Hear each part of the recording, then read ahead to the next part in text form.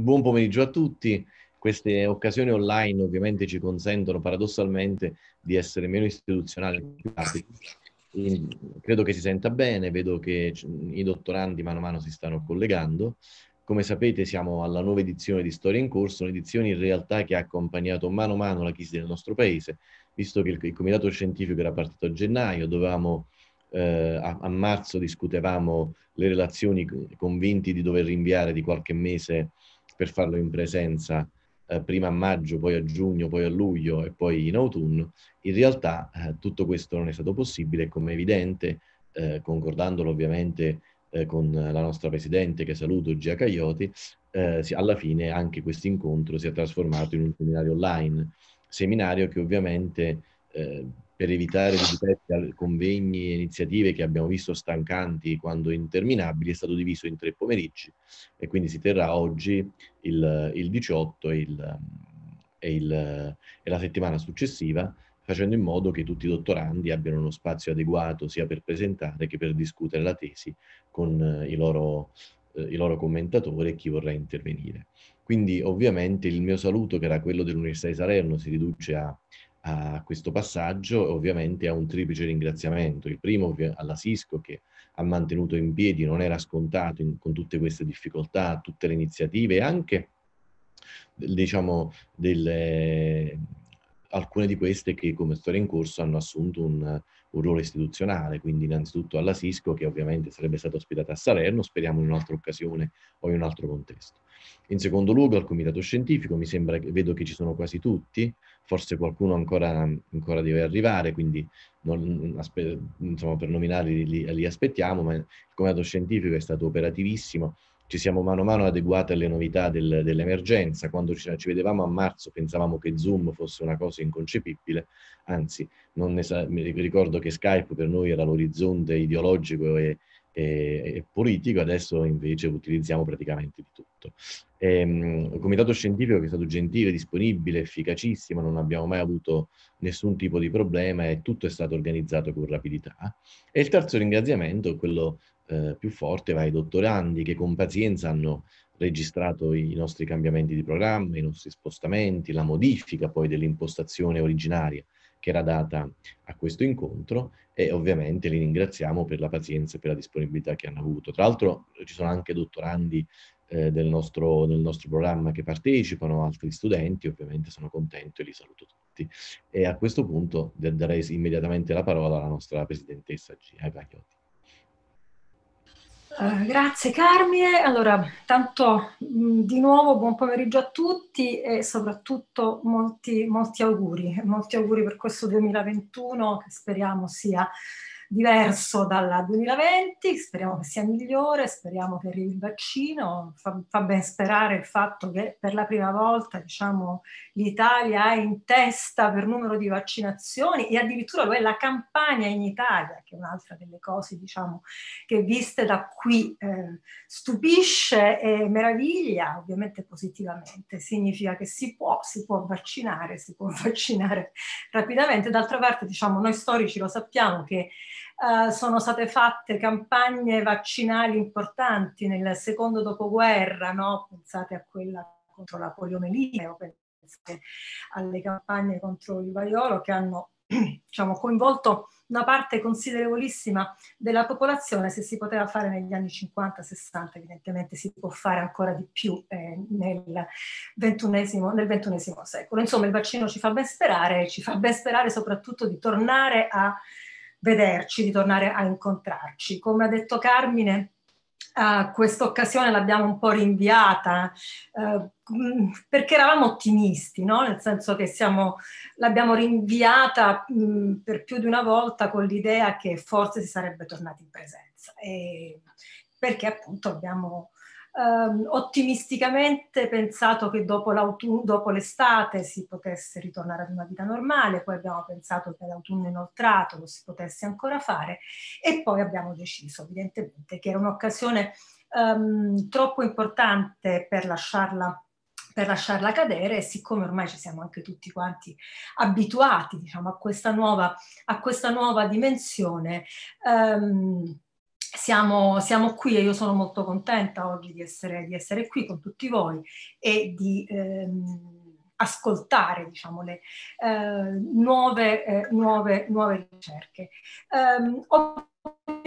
ovviamente perde, perdiamo delle cose, perdiamo quello che da, da, da 15 anni è storia in corso, cioè l'opportunità di incontrarsi, di conoscersi, di conoscersi sia tra colleghi, diciamo in maniera orizzontale, no? tra colleghi di dottorato che tra persone che fanno un dottorato in posti diversi dell'Italia e quindi confrontare anche le loro esperienze eh, dottorali e, e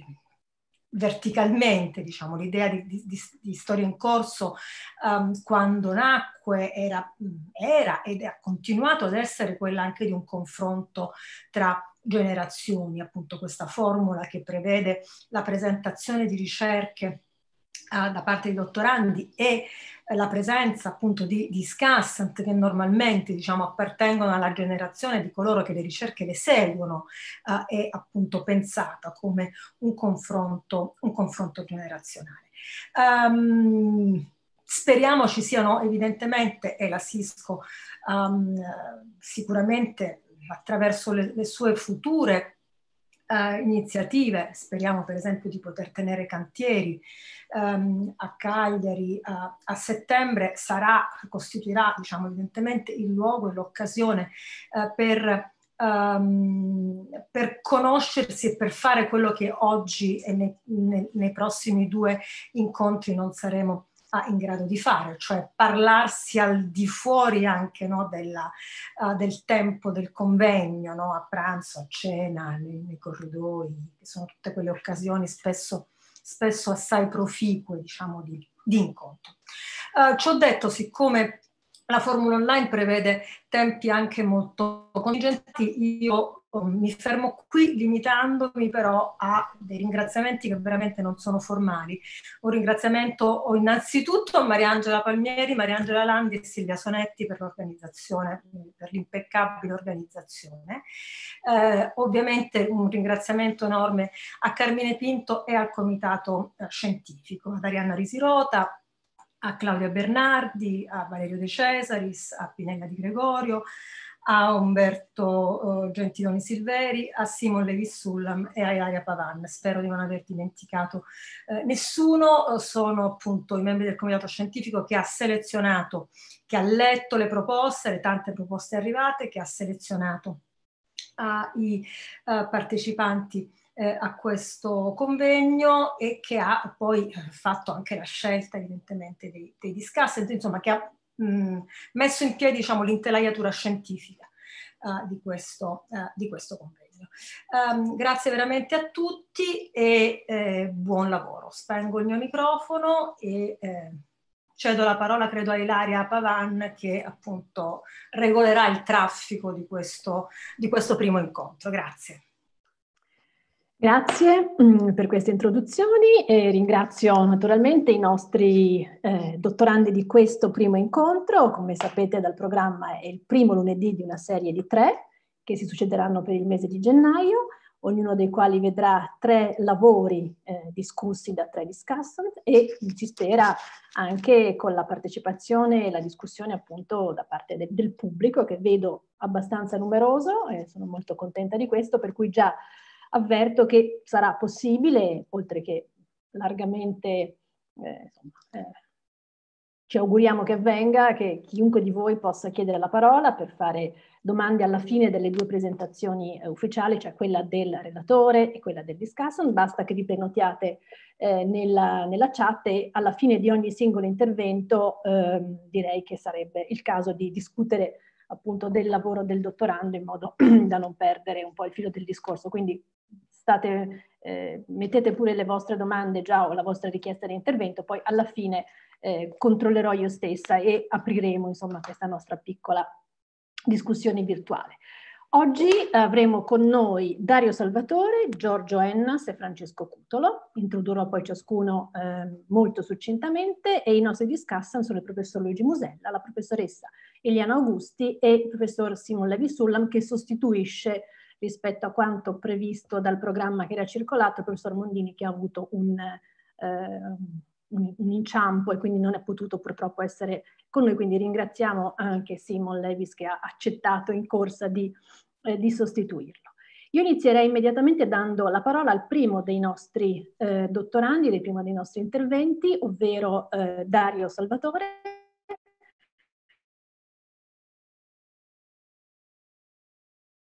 ehm, che stimando, credo, ehm, sua, eh, il suo percorso dottorale svolto all'Università di Salerno. Eh, l'intervento che ci presenta oggi si intitola Mobilitazione politica economica urbana e progetto imperiale fascista, il caso napoletano. A lui la parola per, mm, come abbiamo deciso insieme, una ventina di minuti. Ehm,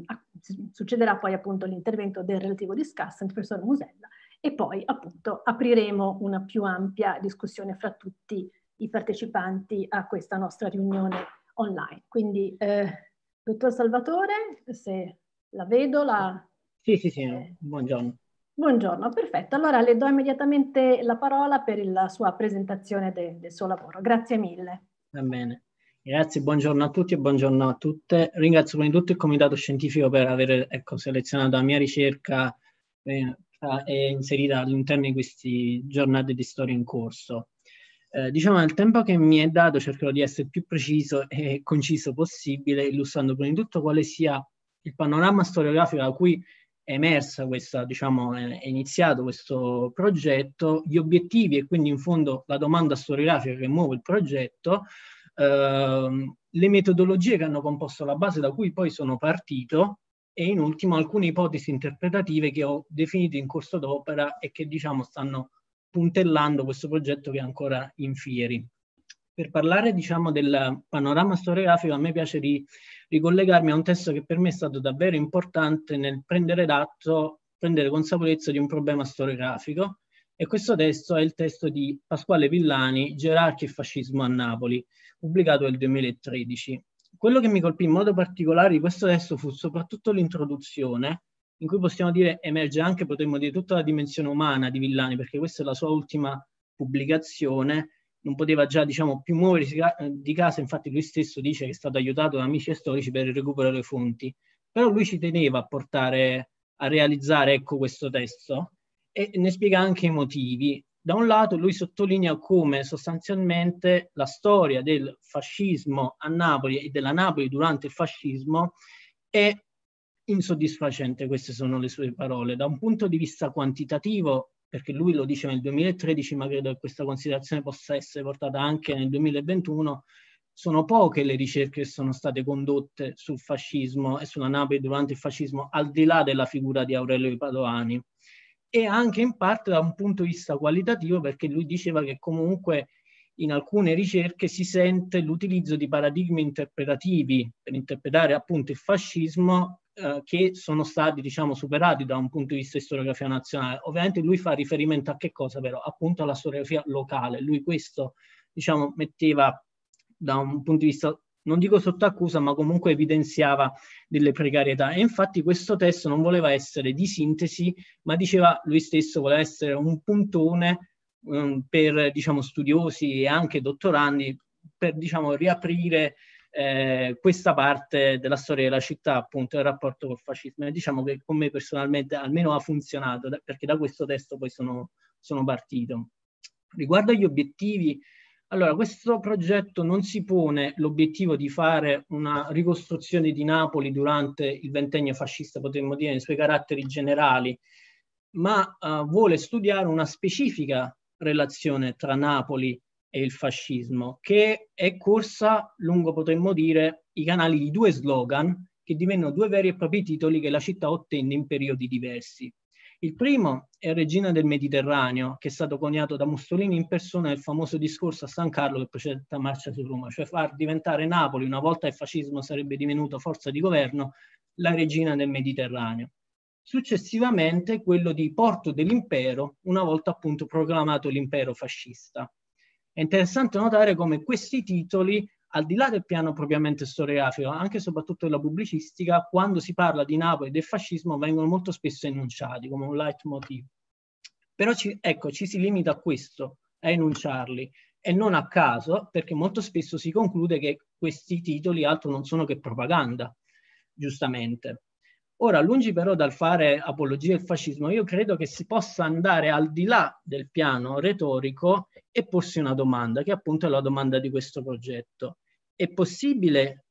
ricercare dietro questi titoli, quindi anche al di là del piano retorico, propagandistico, una visione di città da parte del fascismo, che il fascismo coltivò per la città e quindi in soldoni un tentativo di che cosa? Rifunzionalizzazione della città e in modo particolare delle funzioni espletate dal porto della città. E questa è la domanda storiografica che muove questo progetto. Io ho fatto riferimento a due termini, visione e funzioni, che attengono un po' al piano storiografico mio di riferimento e anche metodologico. Il termine visione di città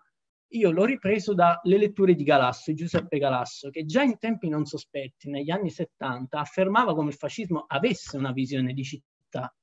Però lui specifica, dice facciamo attenzione però, una cosa è la visione e una cosa è il progetto di città, perché il progetto sottende un, un obiettivo chiaro dei soggetti e delle risorse che sono altrettanto chiare e stabilite e dei tempi più o meno certi. Tutto questo dietro questi titoli non c'è, non si vede, sono degli indirizzi operativi che giustificano e muovono diverse operazioni e comunque processi che comunque vengono posti in essere da parte del fascismo.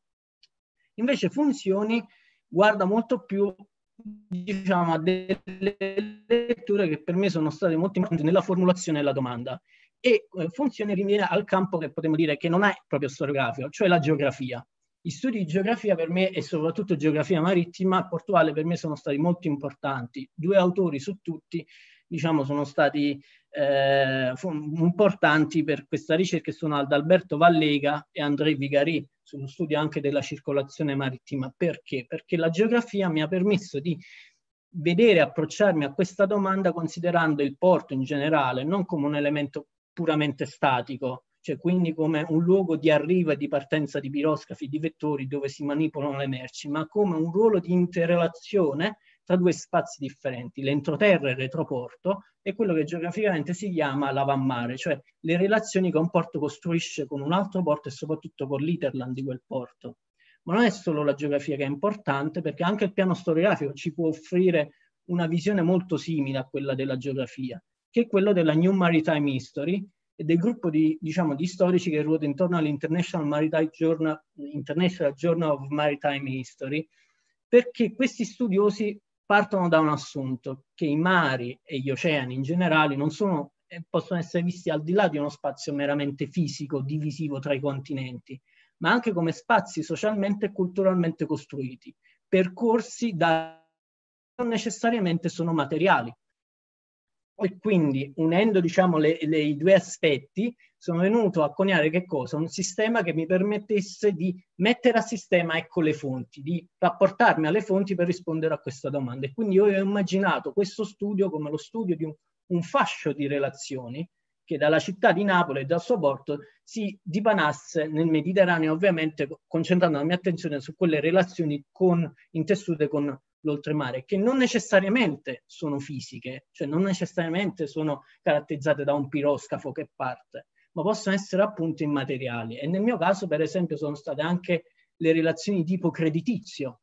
lo studio di una banca che si, una banca napoletana che si specializza nel credito in colonia e che fa credito in modo particolare a una impresa napoletana che apre uno stabilimento a Margherita nel 22 eh, eh, sul fiume Giuba e che per finanziare apre degli sportelli in Irpinia, in Avellino e quindi vediamo come questa relazione mette insieme e unisca due territori distanti e potremmo dire completamente diversi, che non hanno nulla in comune. Relazioni anche ne, e soprattutto dei servizi,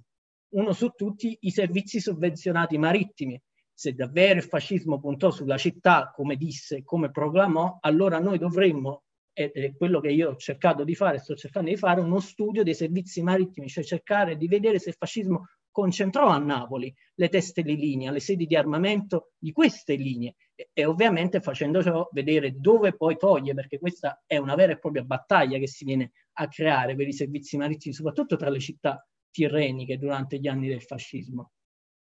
Per, riguardo invece alle ipotesi interpretative, ecco, parto da quello che il fascismo ci racconta,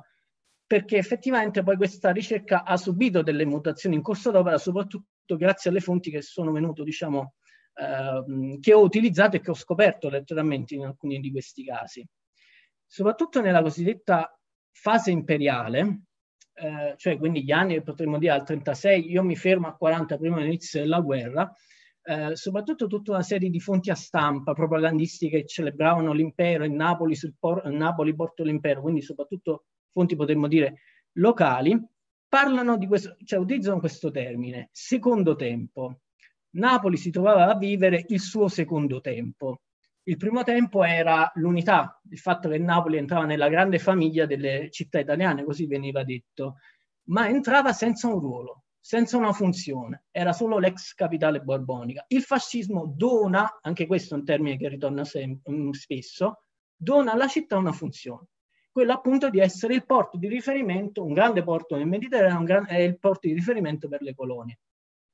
Ora, rispetto a questa visione, rispetto a questa, potremmo dire, narrazione di città, perché da un certo punto di vista si costruisce un inizio palingenetico, cioè l'impero, la programmazione dell'impero per la città significa un nuovo inizio. Invece, soprattutto, diciamo, suffragato dalle fonti, secondo me l'impero, la fase imperiale non è un nuovo inizio, ma è un punto di maturazione di un discorso mediterraneo e coloniale di più lunga durata, che per certi aspetti, per molti aspetti, precede anche il fascismo e che trova, secondo soprattutto le fonti che sono riuscito a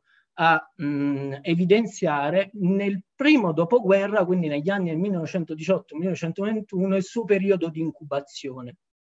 Quindi diciamo è, è stata una storia a ritroso.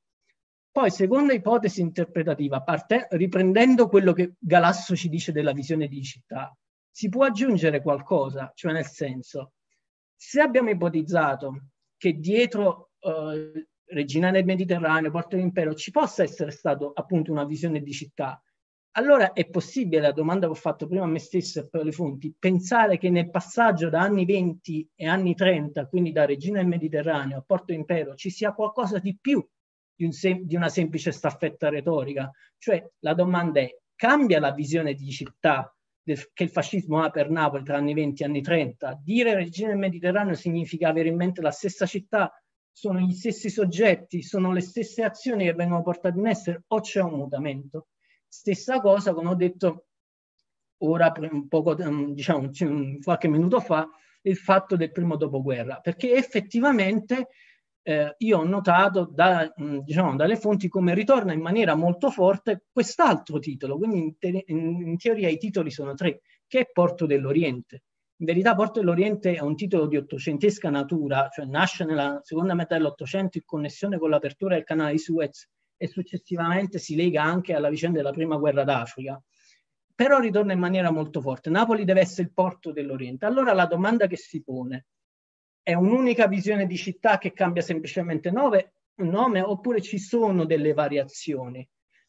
Eh, e se ci sono, qual è l'evento soglia, cioè il fattore periodizzante che mi permette di dire sì, effettivamente c'è uno scartamento che mi permette un passaggio di questo genere? E devo dire, ho trovato il fattore periodizzante soprattutto grazie ai colloqui avuti con Paolo Frascani, che mi ha suggerito di elevare, diciamo, come fattore periodizzante il tempo della crisi,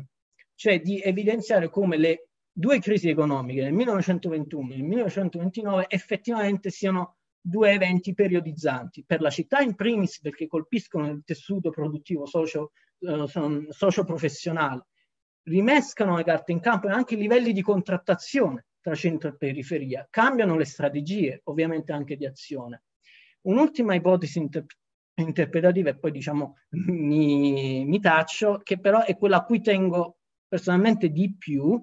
eh, nel, cioè nello sviluppare, come detto il fascismo parla di donare, dona la città, cioè quindi c'è questa azione anche potremmo dire di, di esogena, da, di immaginazione dall'esterno, il fascismo dall'alto, quindi una versione top-down, dona questa versione della città. Io invece tento di mettere in evidenza tutti quei fattori bottom-up, cioè vedere come effettivamente invece c'è una forte spinta dal basso, che non è solo una spinta di richieste, ma anche fattiva, perché poi vengono, cioè la locale Camera di Commercio, per esempio, mette in campo una fiera campionaria di Napoli, viene creato un museo commerciale e coloniale, vengono create tutta una serie di manifestazioni e di eventi correlati, si cambia l'ordinamento di alcuni istituti economici della città per potenziare eh, l'apporto di beni coloniali in settori tipici della città, tipo la lavorazione delle pelli, la lavorazione del corallo. Quindi c'è,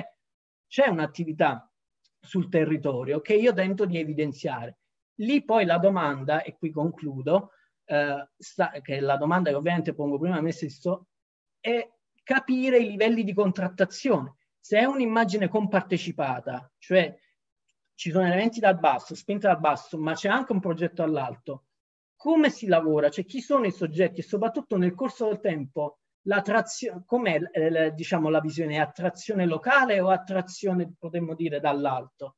Ed effettivamente, almeno per quanto diciamo sono arrivato in questa ricerca, nei primi anni, ancora poi inoltrati anni 20,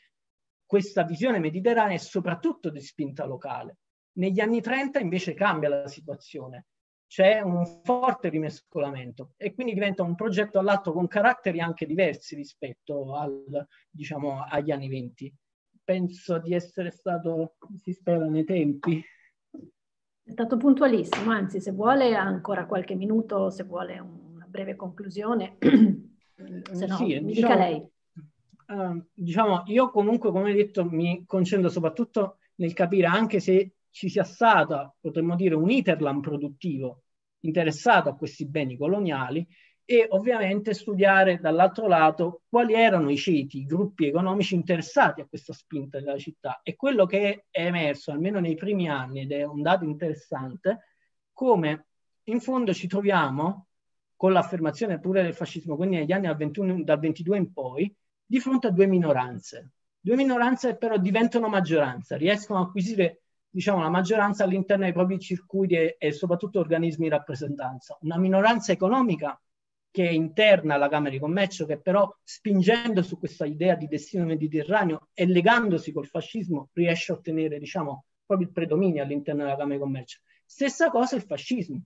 E lì c'è poi il discorso tra fascismo locale e fascismo nazionale, perché fin quando c'è Padovani c'è un discorso di promozione del porto di Napoli a livello nazionale, cioè di partito nazionale, che confligge con altri eh, fasci di città marittime, prima fra tutti con Genova. Cioè c'è una lotta interna, tutta interna al partito fascista, tra il fascio di Napoli, a guida Aurelio Padovani, e quello di Genova, che si nasconde sotto i molti alalà e che dimostra come eh, i fasci cercano, i fasci delle città marittime cerchino da un certo punto di vista di essere anche eh, intermediari di una so- cosiddetta società portuale, cioè di tutti quei, quei soggetti socioprofessionali le cui attività sono legate al porto, quindi armatori, spedizionieri, eh, case commerciali. Diciamo,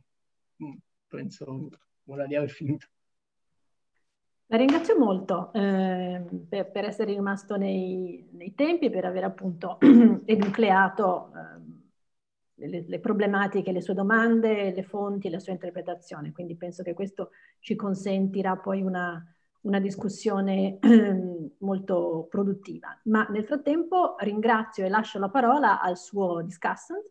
che è il professor Luigi Musella, chiederei, a cui chiederei di intervenire e a cui, come detto, più o meno, insomma, lasciamo una decina di minuti, ovviamente senza essere fiscali, Bene, io ho letto, ho sentito ora il, diciamo, la, la relazione fatta dal dottorando, ho letto anche un paper e devo dire francamente che per quanto ricca di, di, di, di spunti, diciamo, questa ricerca, però non mi, non mi chiarisce ancora bene il problema, perché sia nel paper che nella descrizione fatta ora, io vedo molte dimensioni, molte questioni.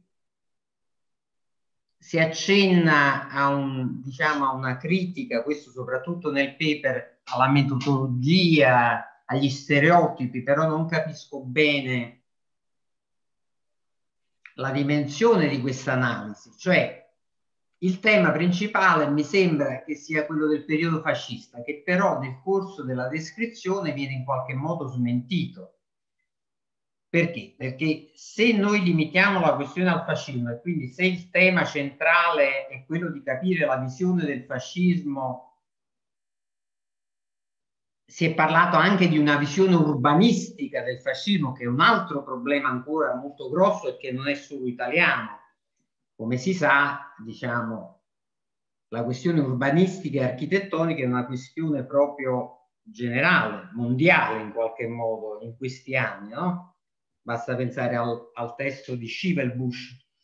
che paragona l'architettura, la visione della città in realtà molto diverse, non solo quella fascista, ma quella nazista, quella statunitense. E quindi questo è un altro tema. Poi ci sono dei riferimenti alla, al commercio, al porto, alla funzione del porto e a questo proposito si insiste sul fatto che e si scopre, secondo me, una cosa ovvia, che il fascismo forse ha inciso fino a un certo punto perché dei processi di ampliamento della città, di relazioni interne ed esterne partono da molto prima. E allora qua non capisco se questo problema lo si può legare troppo al fascismo.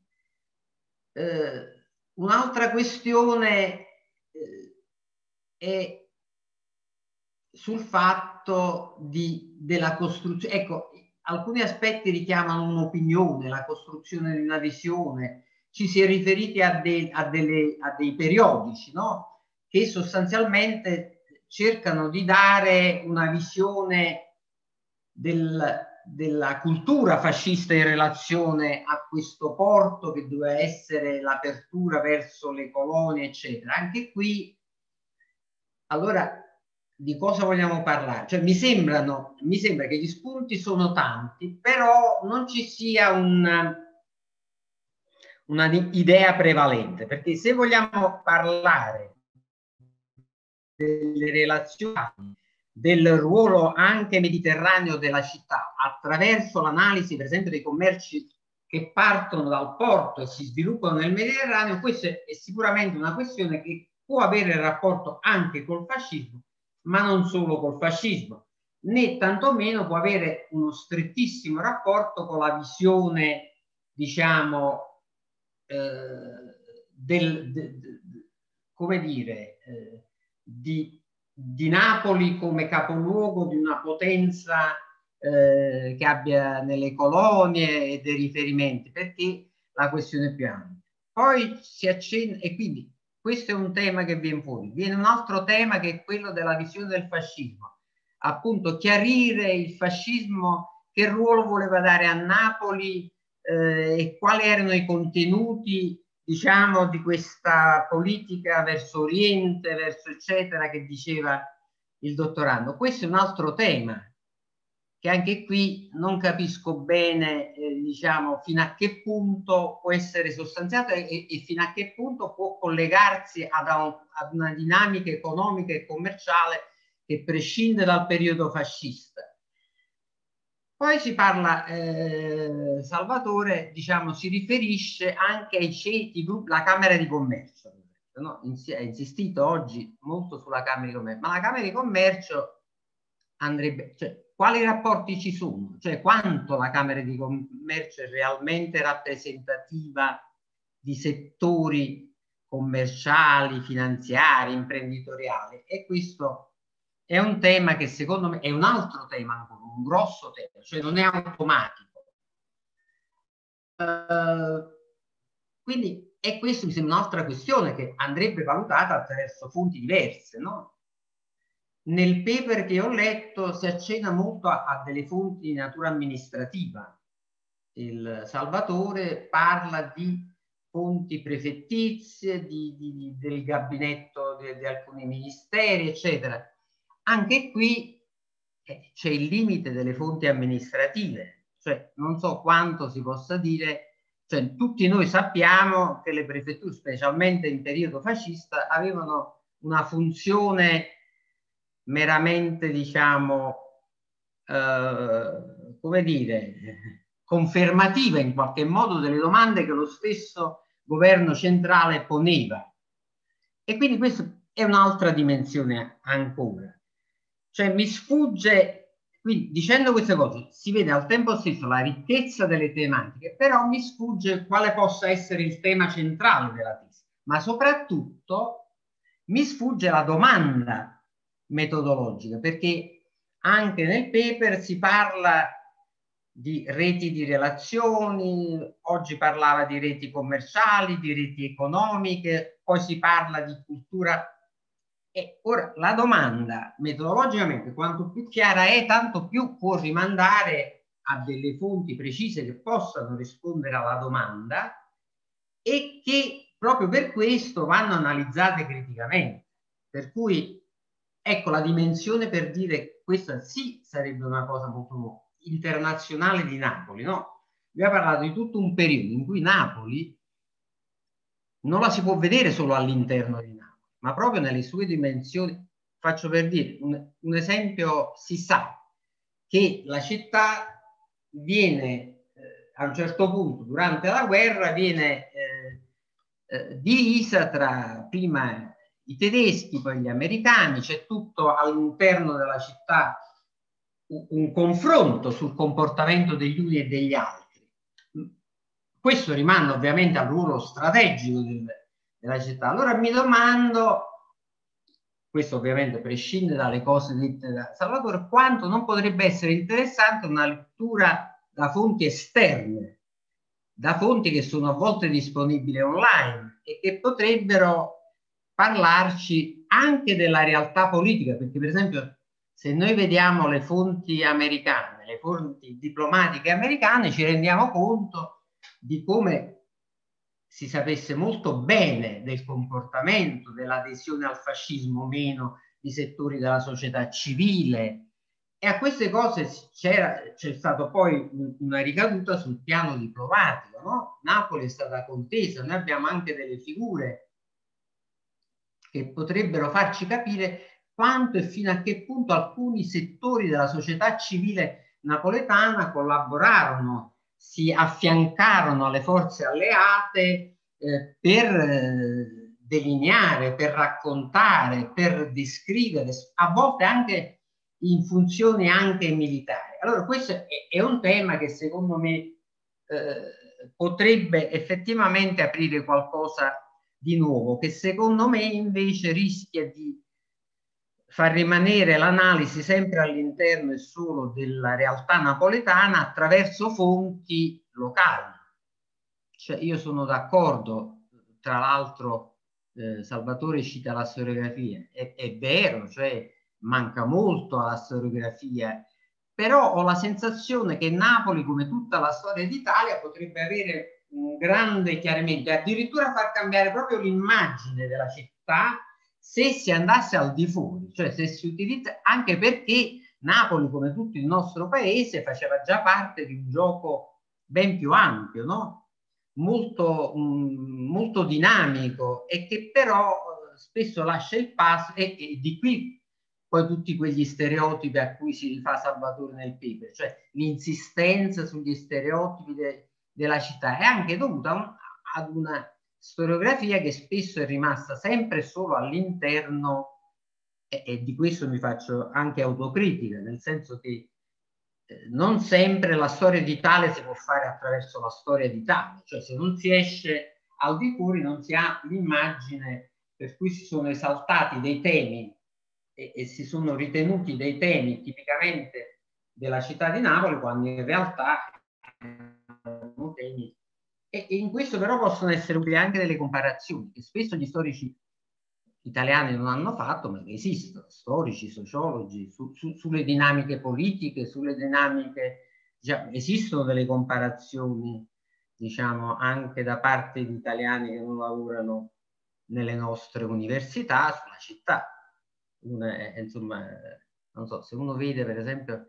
eh, Salvatore parla della politica, se uno vede questa bella ricerca fatta molti anni fa, ormai da Eleonora Pasotti, diciamo, è un testo in inglese, eh, si vede come si cerca anche la politica, o Judith Chubb, cioè si cerca di capire meglio le dinamiche della politica, che non siano quegli stereotipi di cui si diceva la monarchia, le, Napoli non è fascista o cose di questo tipo. Allora io direi come tanto per sintetizzare, forse ho detto troppo, che l'impostazione mi sembra molto vivace, interessata a voler cambiare, però mi sembra che ci sono troppe cose e che forse, so, ah, perlomeno a me, sono poco chiari. Eh, la domanda metodologica, storiografica, chiamiamola così, e le fonti a cui rimandare alla luce di una domanda che sia molto più uh, precisa. Ecco, questo penso di aver detto più o meno, poi se casomai posso intervenire nella discussione. Grazie. Eh, grazie mille. Io lascerei immediatamente diritto di replica a Salvatore e poi ehm, sentiamo se ci sono ulteriori domande eh, per il nostro dialogo. Quindi Salvatore, a lei rispondere a queste puntuali, direi, e piuttosto significative, importanti osservazioni eh, sul focus, direi, no? Su qual è il problema eh, centrale attorno al quale organizzare la sua tesi e da lì le fonti chiaramente utili per rispondere alla domanda. Prego. Sì, diciamo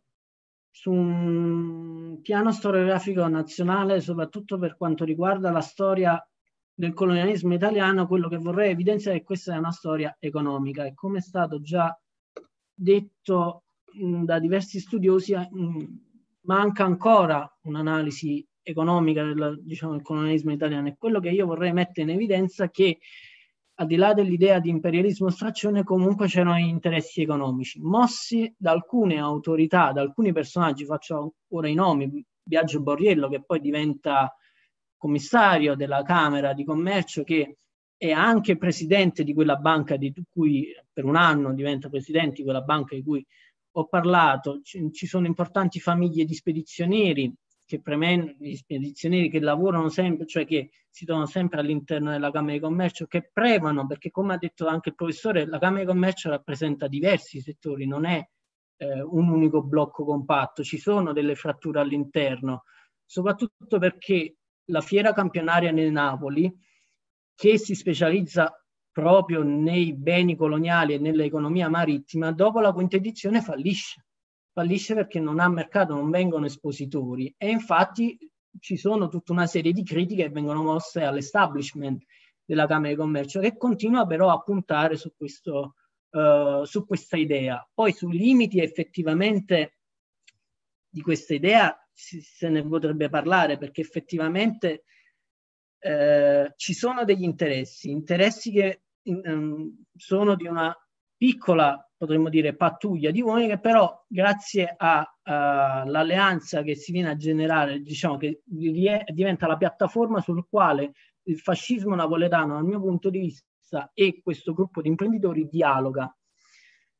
Poi sul progetto vero e proprio ci sono tutta una serie di limiti che io nello stesso Uh, nella, diciamo, nella, mia stessa ricerca evidenzio perché poi alla fine l'economia napoletana appunto approcciandomi a, un, a, una dimensione più internazionale pur essendo un porto geograficamente mediterraneo è un porto euroatlantico dal punto di vista commerciale cioè guarda soprattutto agli Stati Uniti questo anche durante gli anni del fascismo. Quindi diciamo c'è eh, questa considerazione su, diciamo, non so cos'altro dire, ho capito quale, quali sono i problemi e diciamo ne, ne prendo atto. E, e, eh, grazie Salvatore. Allora io mh, mm, chiedo eh, se sulla chat sono comparse, mi sembra di no, sto controllando eh, delle richieste di intervento e di eh, domande, sì, ecco la prima, benissimo eh, di Alessandro Capone, a cui lascio immediatamente quindi la parola. Grazie Alessandro. Grazie Ilaria, buonasera a tutti i colleghi e gli amici. Eh, innanzitutto complimenti perché mi sembra davvero una, una bella ricerca, molto, molto, interessante da tanti punti di vista. Eh, e avrei appunto, come scrivevo in chat, soltanto una curiosità. Esiste, hai notato, emerge dalle fonti un ruolo autonomo della monarchia rispetto a questi progetti eh, che, che provengono dal regime e, e, si può notare un rapporto diverso, un, una, una, configurazione di rapporti diversa tra gli attori locali, l'elite commerciali e politiche locali e la monarchia in quanto istituzione o la posizione del, del, del, della monarchia è sovrapposta a quella del regime in questo progetto? Grazie. Rispondo già subito? Prego, sì, sì. Eh, no, eh, al momento io non ho, trovato riferimenti a mm, diciamo, un ruolo diretto o indiretto della, della monarchia in questi, in questi, aspetti. C'è sicuramente un discorso, potremmo dire, di ministeri, eh, cioè quindi potremmo dire dei, di, di, un aspetto politocratico all'interno dello stesso fascismo, in modo particolare il Ministero delle Comunicazioni di Ciano e degli interessi che vengono maturando all'interno dello stesso ministero e delle figure diverse tra il fascismo, ma a livello monarchico mm, diciamo, non, non è emerso niente. Eh, Anch'io avrei un, una domanda, se, se, posso, così mentre aspetto se qualcun altro si vuole prenotare. Eh, proprio per insomma, cercare di, di, venire incontro no, ad alcune delle osservazioni che sono state fatte appunto su qual è il vero focus, no? qual è la vera domanda, il suo filo rosso.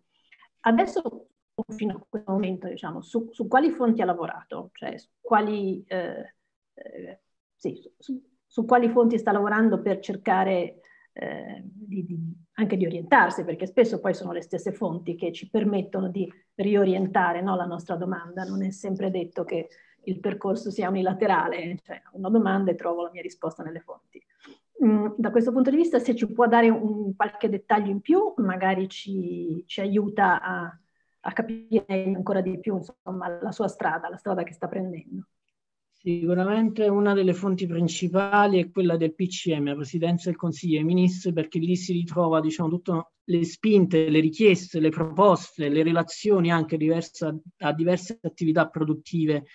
e iniziative che vengono fatte nell'area campana. Poi c'è sicuramente l'ispettorato dei servizi marittimi, quindi il Ministero delle Comunicazioni per quanto concerne le sovvenzioni e la richiesta di teste di linee e le varie commissioni di riordino che poi ci sono, in cui poi sono anche presenti membri dell'area napoletana che combattono negli anni venti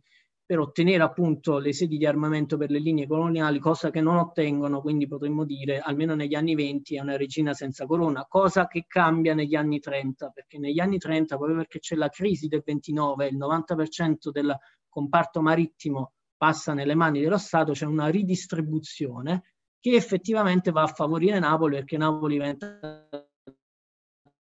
testa di linea dalla fusione della Citra e della Floria. Poi eh, alcuni archivi privati, per esempio eh, archivi che poi alcuni di questi, la maggior parte ormai eh, mh, sono difficilmente consultabili nello stato in cui ci troviamo, eh, per esempio archivi di istituti come appunto l'Istituto per la lavorazione delle pelli, che ancora esiste, l'Ether Institute ancora esiste, un piccolo archivio in cui c'è che cosa? Il tentativo da parte di coloro che poi sono messi a capo di questo uh, istituto, che sono sempre le stesse persone,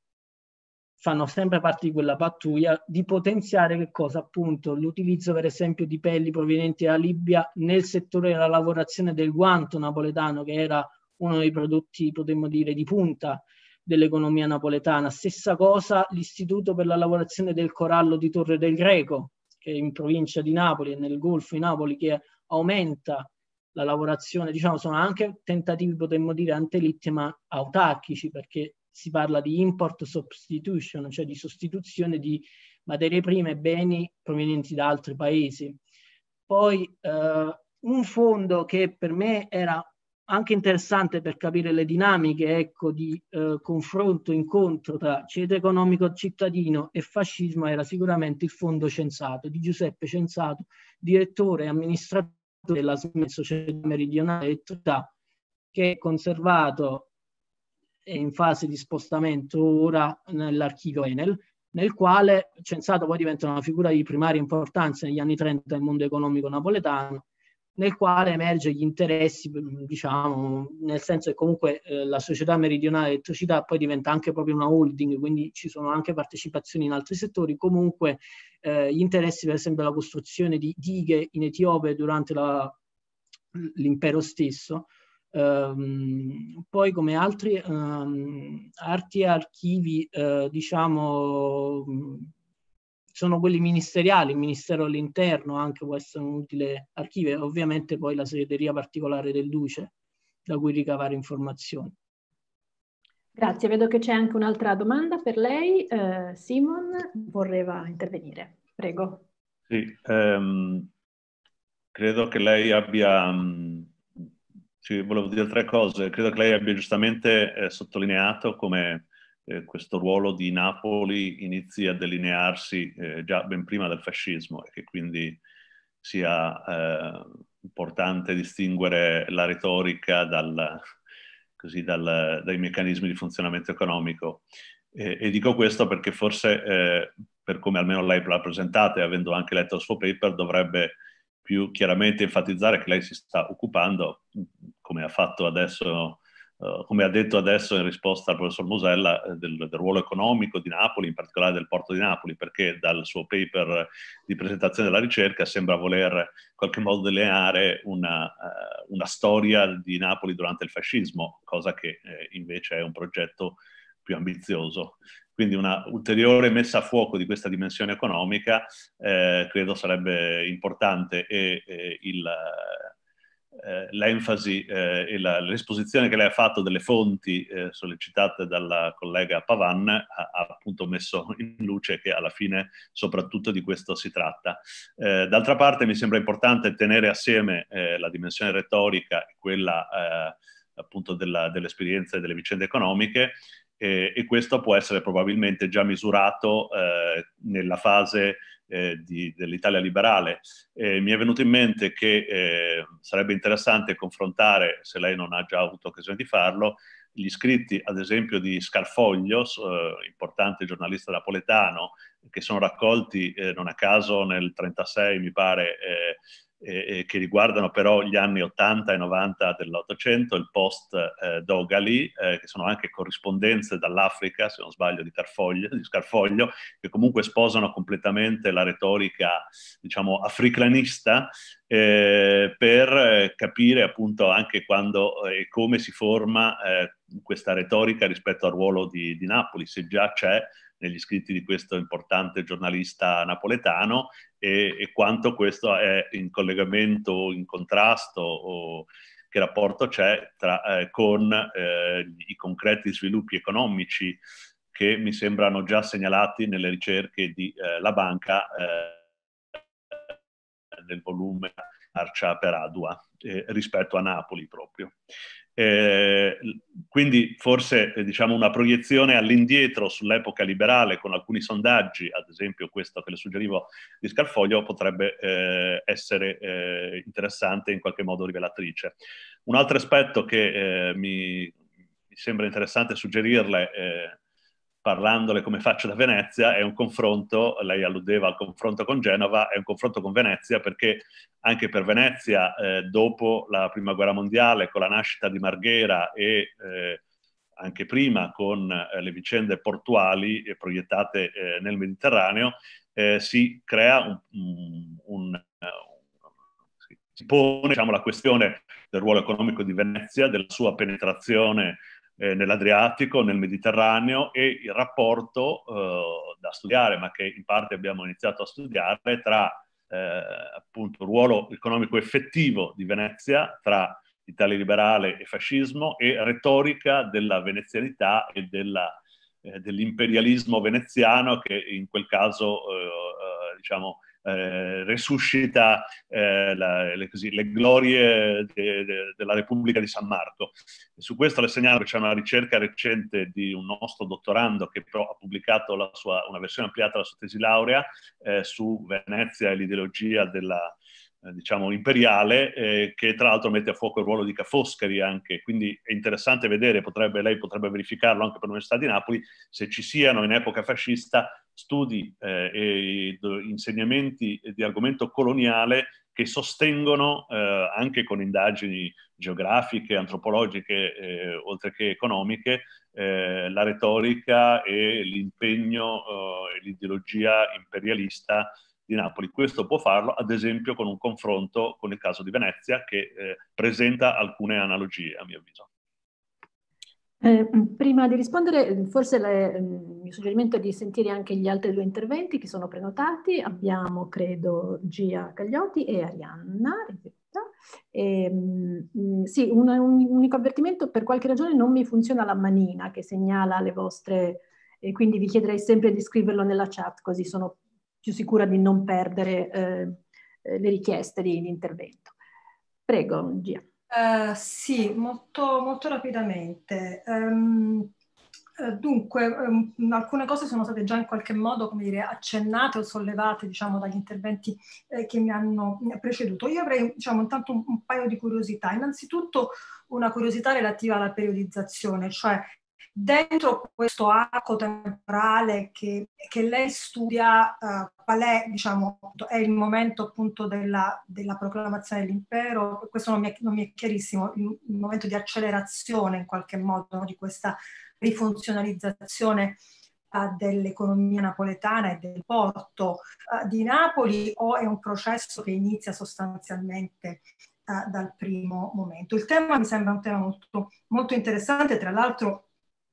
anche in anni recenti no? è tornata un po' questa retorica di Napoli, porta del Mediterraneo, Napoli che deve guardare al Mediterraneo, eccetera, eccetera, laddove invece appunto Napoli probabilmente per gran parte della sua storia um, pre-fascista al Mediterraneo non aveva guardato quasi per niente, diciamo, dal punto di vista, eh, come, come, lei stesso accennava, i rapporti, diciamo, commerciali eh, di Napoli erano rapporti più euroatlantici che non con la sponda ehm, settentrionale del Mediterraneo, anche perché, come dire, c'erano sicuramente rapporti legati al fatto che c'erano, non so, i corallari, eh, il commercio e la pesca del corallo che si estendeva evidentemente verso il Mediterraneo, c'erano i rapporti commerciali legati alla pesca e quindi eh, la costa, la costa settentrionale dell'Africa, la Tunisia in particolare, ma in realtà questi rapporti erano molto più forti probabilmente per la Sicilia e per la Sardegna che non per Napoli, come hanno dimostrato una serie di ricerche eh, recenti fatte soprattutto nell'ambito di un gruppo di lavoro all'École Française, all'École Française de Rome. Quindi innanzitutto diciamo la mia prima domanda, che è veramente una domanda di pura curiosità, è una domanda sulla periodizzazione. La seconda questione che ha sollevato anche Simon Levi Sullam è il confronto con gli altri porti, perché eh, l'Italia, l'Italia, è un paese di porti, no? e, e, porti per certi versi anche più importanti di quello uh, di Napoli, uh, il porto di Livorno, il porto di Genova, appunto il porto di Venezia, il porto, um, il porto di Trieste, insomma è una, um, è una e tra l'altro il porto di Napoli è un porto che nel, durante il fascismo perde una delle sue mh, più importanti attività, che è quella dell'emigrazione. Eh, la perde sostanzialmente a partire dal 24, no? per ragioni legate alla uh, Na- Napoli, è il porto da cui si parte per uh, gli Stati Uniti no? e per, e per, l'America, e per l'America Latina. Um, quindi perde un'attività fondamentalissima, la perde il porto e la perde anche in, in parte il Banco di Napoli, che era il banco delle rimesse agli emigrati, no? uh, il banco per eccellenza diciamo, delle, delle, rimesse agli emigrati. La perde ovviamente sia per la legislazione, per la concomitante diciamo, uh, presenza di una legislazione restrittiva del controllo delle migrazioni um, e negli Stati Uniti e perché il fascismo, come sappiamo, diciamo, uh, chiude eh, sostanzialmente le, le, le, proprie, le, proprie, frontiere. Um, allora, quello che mi piacerebbe, l'altra cosa che mi piacerebbe capire appunto è eh, capire meglio appunto questo fascio uh, di eh, relazioni con il Mediterraneo a cui uh, lei accennava, appunto perché accennava a una serie di... Um, e al fatto che c'è evidentemente in città una, una, classe, diciamo, economica che è in grado di acchiappare queste opportunità, insomma, ecco eh, che la retorica del fascismo e soprattutto diciamo, la nuova geopolitica uh, del fascismo uh, riprende uh, appunto uomini come Censato, ma presumibilmente diciamo anche altri, altri gruppi, penso anche diciamo al gruppo delle manifatture cotoniere meridionali, no? che, eh, che, era passato durante la prima guerra mondiale in mano, um, in mano italiana e che mh, produce o comunque insomma si va a prendere anche una parte della, della materia prima nel continente africano. Uh, ma su questo diciamo mi fermo per non rubare altro tempo. Grazie. Uh, Arianna, se vuoi anche tu intervenire. Sì, grazie, molto lasciamo. brevemente. Ehm, grazie a tutti, è interessantissimo questo, questo spaccato che, che ho ascoltato. Io ho fatto una tesi di dottorato lontanissima dai miei poi successivi interessi di, di ricerca, cioè l'ho fatta sulla ricostruzione di una politica mediterranea italiana eh, negli anni 50 del Novecento, quindi tornare nel Mediterraneo come. E allora eh, farei un, una proposta, eh, se ci sarà tempo e spazio nell'economia complessiva della sua ricerca, perché sappiamo che poi tre anni volano, eh, opposta a quella di, di Simone, cioè di andare un po' in avanti. Lei si ferma al 40, però le persone, gli uomini sono gli stessi nei primi anni 50 e ci sono delle carte molto interessanti alla, all'archivio del Ministero degli Affari Esteri, che so che è di difficile penetrazione in tempi normali, figuriamoci adesso, ma c'è un momento in cui tra 50 e 52 a Napoli si organizza la mostra d'oltremare e le personalità sono le stesse che eh, hanno evidentemente un passato nel periodo fascista, sono dei fiumi carsici, tornano con interessi economici e nuove velleità e il Ministero cerca di coordinare e di non far sovrapporre iniziative tra Napoli, la Fiera del Levante di Bari e iniziative della Regione Sicilia molto, molto aggressiva, diciamo, in questa uh, ricerca di, nuova, di un nuovo dialogo col mondo mediterraneo. Quindi forse personaggi, personalità, ambienti potrebbero essere recuperati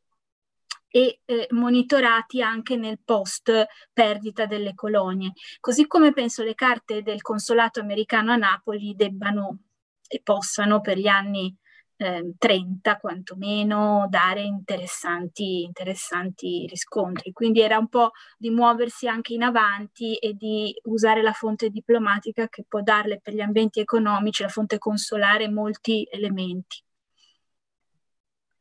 Grazie, quindi lascerei la parola di nuovo al dottor Salvatore per... Se posso aggiungere una cosa. Ah, certamente, prego. A proposito di quanto è stato detto prima, una figura di, alla quale ci si può riferire, che invece in passato è stata trattata soprattutto da un punto di vista politico, è quella di Achille Lauro, che è uno dei, degli armatori che ha degli interessi, diciamo, e, e che si può studiare anche attraverso delle, delle fonti presenti al porto e che praticamente fanno capire l'evoluzione dei commerci che ha avuto Lauro, che poi alla fine eh, ha finito anche per ricoprire un posto, diciamo, non italiano eh, nella, nell'economia armatoriale e che attraverso la sua biografia può far capire i movimenti, le relazioni che sono sia con l'Africa sia con eh, i paesi occidentali. Secondo me, più che censato, secondo me, nell'ottica della ricerca di Salvatore, una figura del genere potrebbe dare parecchi risultati. Ecco, basta. Grazie. Eh, prego Salvatore, a lei allora. Allora, per quanto riguarda l'età liberale, questo progetto si apre con un confronto con l'Ottocento, perché come ho detto il termine Porto dell'Oriente non, non nasce nel Novecento, ma nasce nell'Ottocento. Quindi mi sono posto la domanda quali differenze ci sono. È semplicemente un recupero o si immagina una città diversa perché effettivamente Edoardo Scarfoglio utilizzava questo termine già nella seconda metà dell'Ottocento, Porto dell'Oriente. Ed effettivamente secondo me si parla di due città diverse. Il primo dopoguerra porta a immaginare un Porto dell'Oriente che è diverso da quello del seconda metà dell'Ottocento, perché nella seconda metà dell'Ottocento si immagina un porto che è sostanzialmente di transito il transito per, le, per l'Oriente e per appunto l'estremo Oriente, soprattutto dopo la rivoluzione geografica delle rotte geografiche grazie all'apertura del canale di Suez e grazie al ruolo che Na- il porto di Napoli per la sua posizione strategica ha sempre avuto, cioè di porto di bunkeraggio, cioè sostanzialmente di rifornimento del carbone delle navi e di sfruttare questa posizione per essere un emporio commerciale, un po' come doveva essere contestualmente Brindisi con la valigia delle Indie. Quindi a livello proprio merceologico potremmo dire delle merci che non superano la cinta daziaria del porto, ma che vengono manipolate e poi semmai rivendute su altro piroscafo che prendono la via del mare. nella prima metà del, cioè nel primo dopoguerra, Porto dell'Oriente significa un porto industriale. E questo è l'elemento di vera novità, cioè c'è una forte argomentazione di tipo industriale che lascia il segno nel senso che eh, eh, io ho utilizzato questa espressione che secondo me è molto calzante per rappresentare la situazione di Napoli nel primo dopoguerra, fatta di speranze che si coniugano un po' con le speranze di grandi potenze che ha l'Italia in generale nel, nei primissimi anni del dopoguerra, quindi 19-20, che è utilizzata da Massimo, Massimo Legnani nel 1972 in un articolo, cioè la febbrile eccitazione. Napoli nel primo dopoguerra si trova a vivere una febbrile eccitazione perché crede di essere, almeno nelle sue eh, il mattino pure da questo punto di vista eh, da, carica molto questa immagine industriale della città, crede di essere appunto una città industriale, cosa che la crisi appunto del 21 rimetterà fortemente in discussione perché quello fu diciamo un ingrandimento dovuto soprattutto alla domanda bellica, ma proprio perché è un porto industriale, il rapporto che si doveva creare in teoria, questo si dice, con le colonie doveva essere diverso con le colonie in genere col Mediterraneo sostanzialmente doveva essere diverso, non più un porto di transito, ma un porto che re- ottiene materie prime semilavorati che servono ai processi produttivi del retroporto dove è stata costituita la zona franca con la legge del 1904, cioè la zona industriale, per poi rispedire e esportare questi prodotti finiti. Quindi anche un rapporto diverso con le merci nel primo dopoguerra. Come detto, quest- questa idea che poi ha anche dei tentativi di realizzazione, come detto, con questi tentativi di riforma di alcuni istituti, tro, diciamo, collassa su se stesso con la crisi economica del 1921. Con l'affermazione di regina del Mediterraneo e quindi con, potremmo dire, anche un'idea fascista di città, si punta soprattutto su una visione commerciale della città. Quindi l'idea industrialista, l'elemento, potremmo dire, l'argomento industrialista del porto cade, tant'è vero che era iniziato un, anche fisicamente, questo lo si vede, erano iniziati i lavori per la creazione di un canale navigabile che collegasse la zona industriale e il porto, che il fascismo non finanzia più perché non è, cioè, sostanzialmente non percorre questa strada. Lo stesso lo dispo, il dispositivo che gestisce il porto. Nel primo dopoguerra nasce l'ente autonomo che gestisce sia il porto che ha autorità sia per il porto sia per la zona industriale, proprio perché si immagina uno sviluppo sinergico delle due realtà. Questo ente viene soppresso e viene nominato un regio commissario, anche proprio diciamo, utilizzando una tipica operazione diciamo, fascista di concentrare in singole autorità. Negli anni del dopo 29 e negli anni, potremmo dire, proprio dell'impero dal 35 in poi, si punta su un'immagine turistica della città,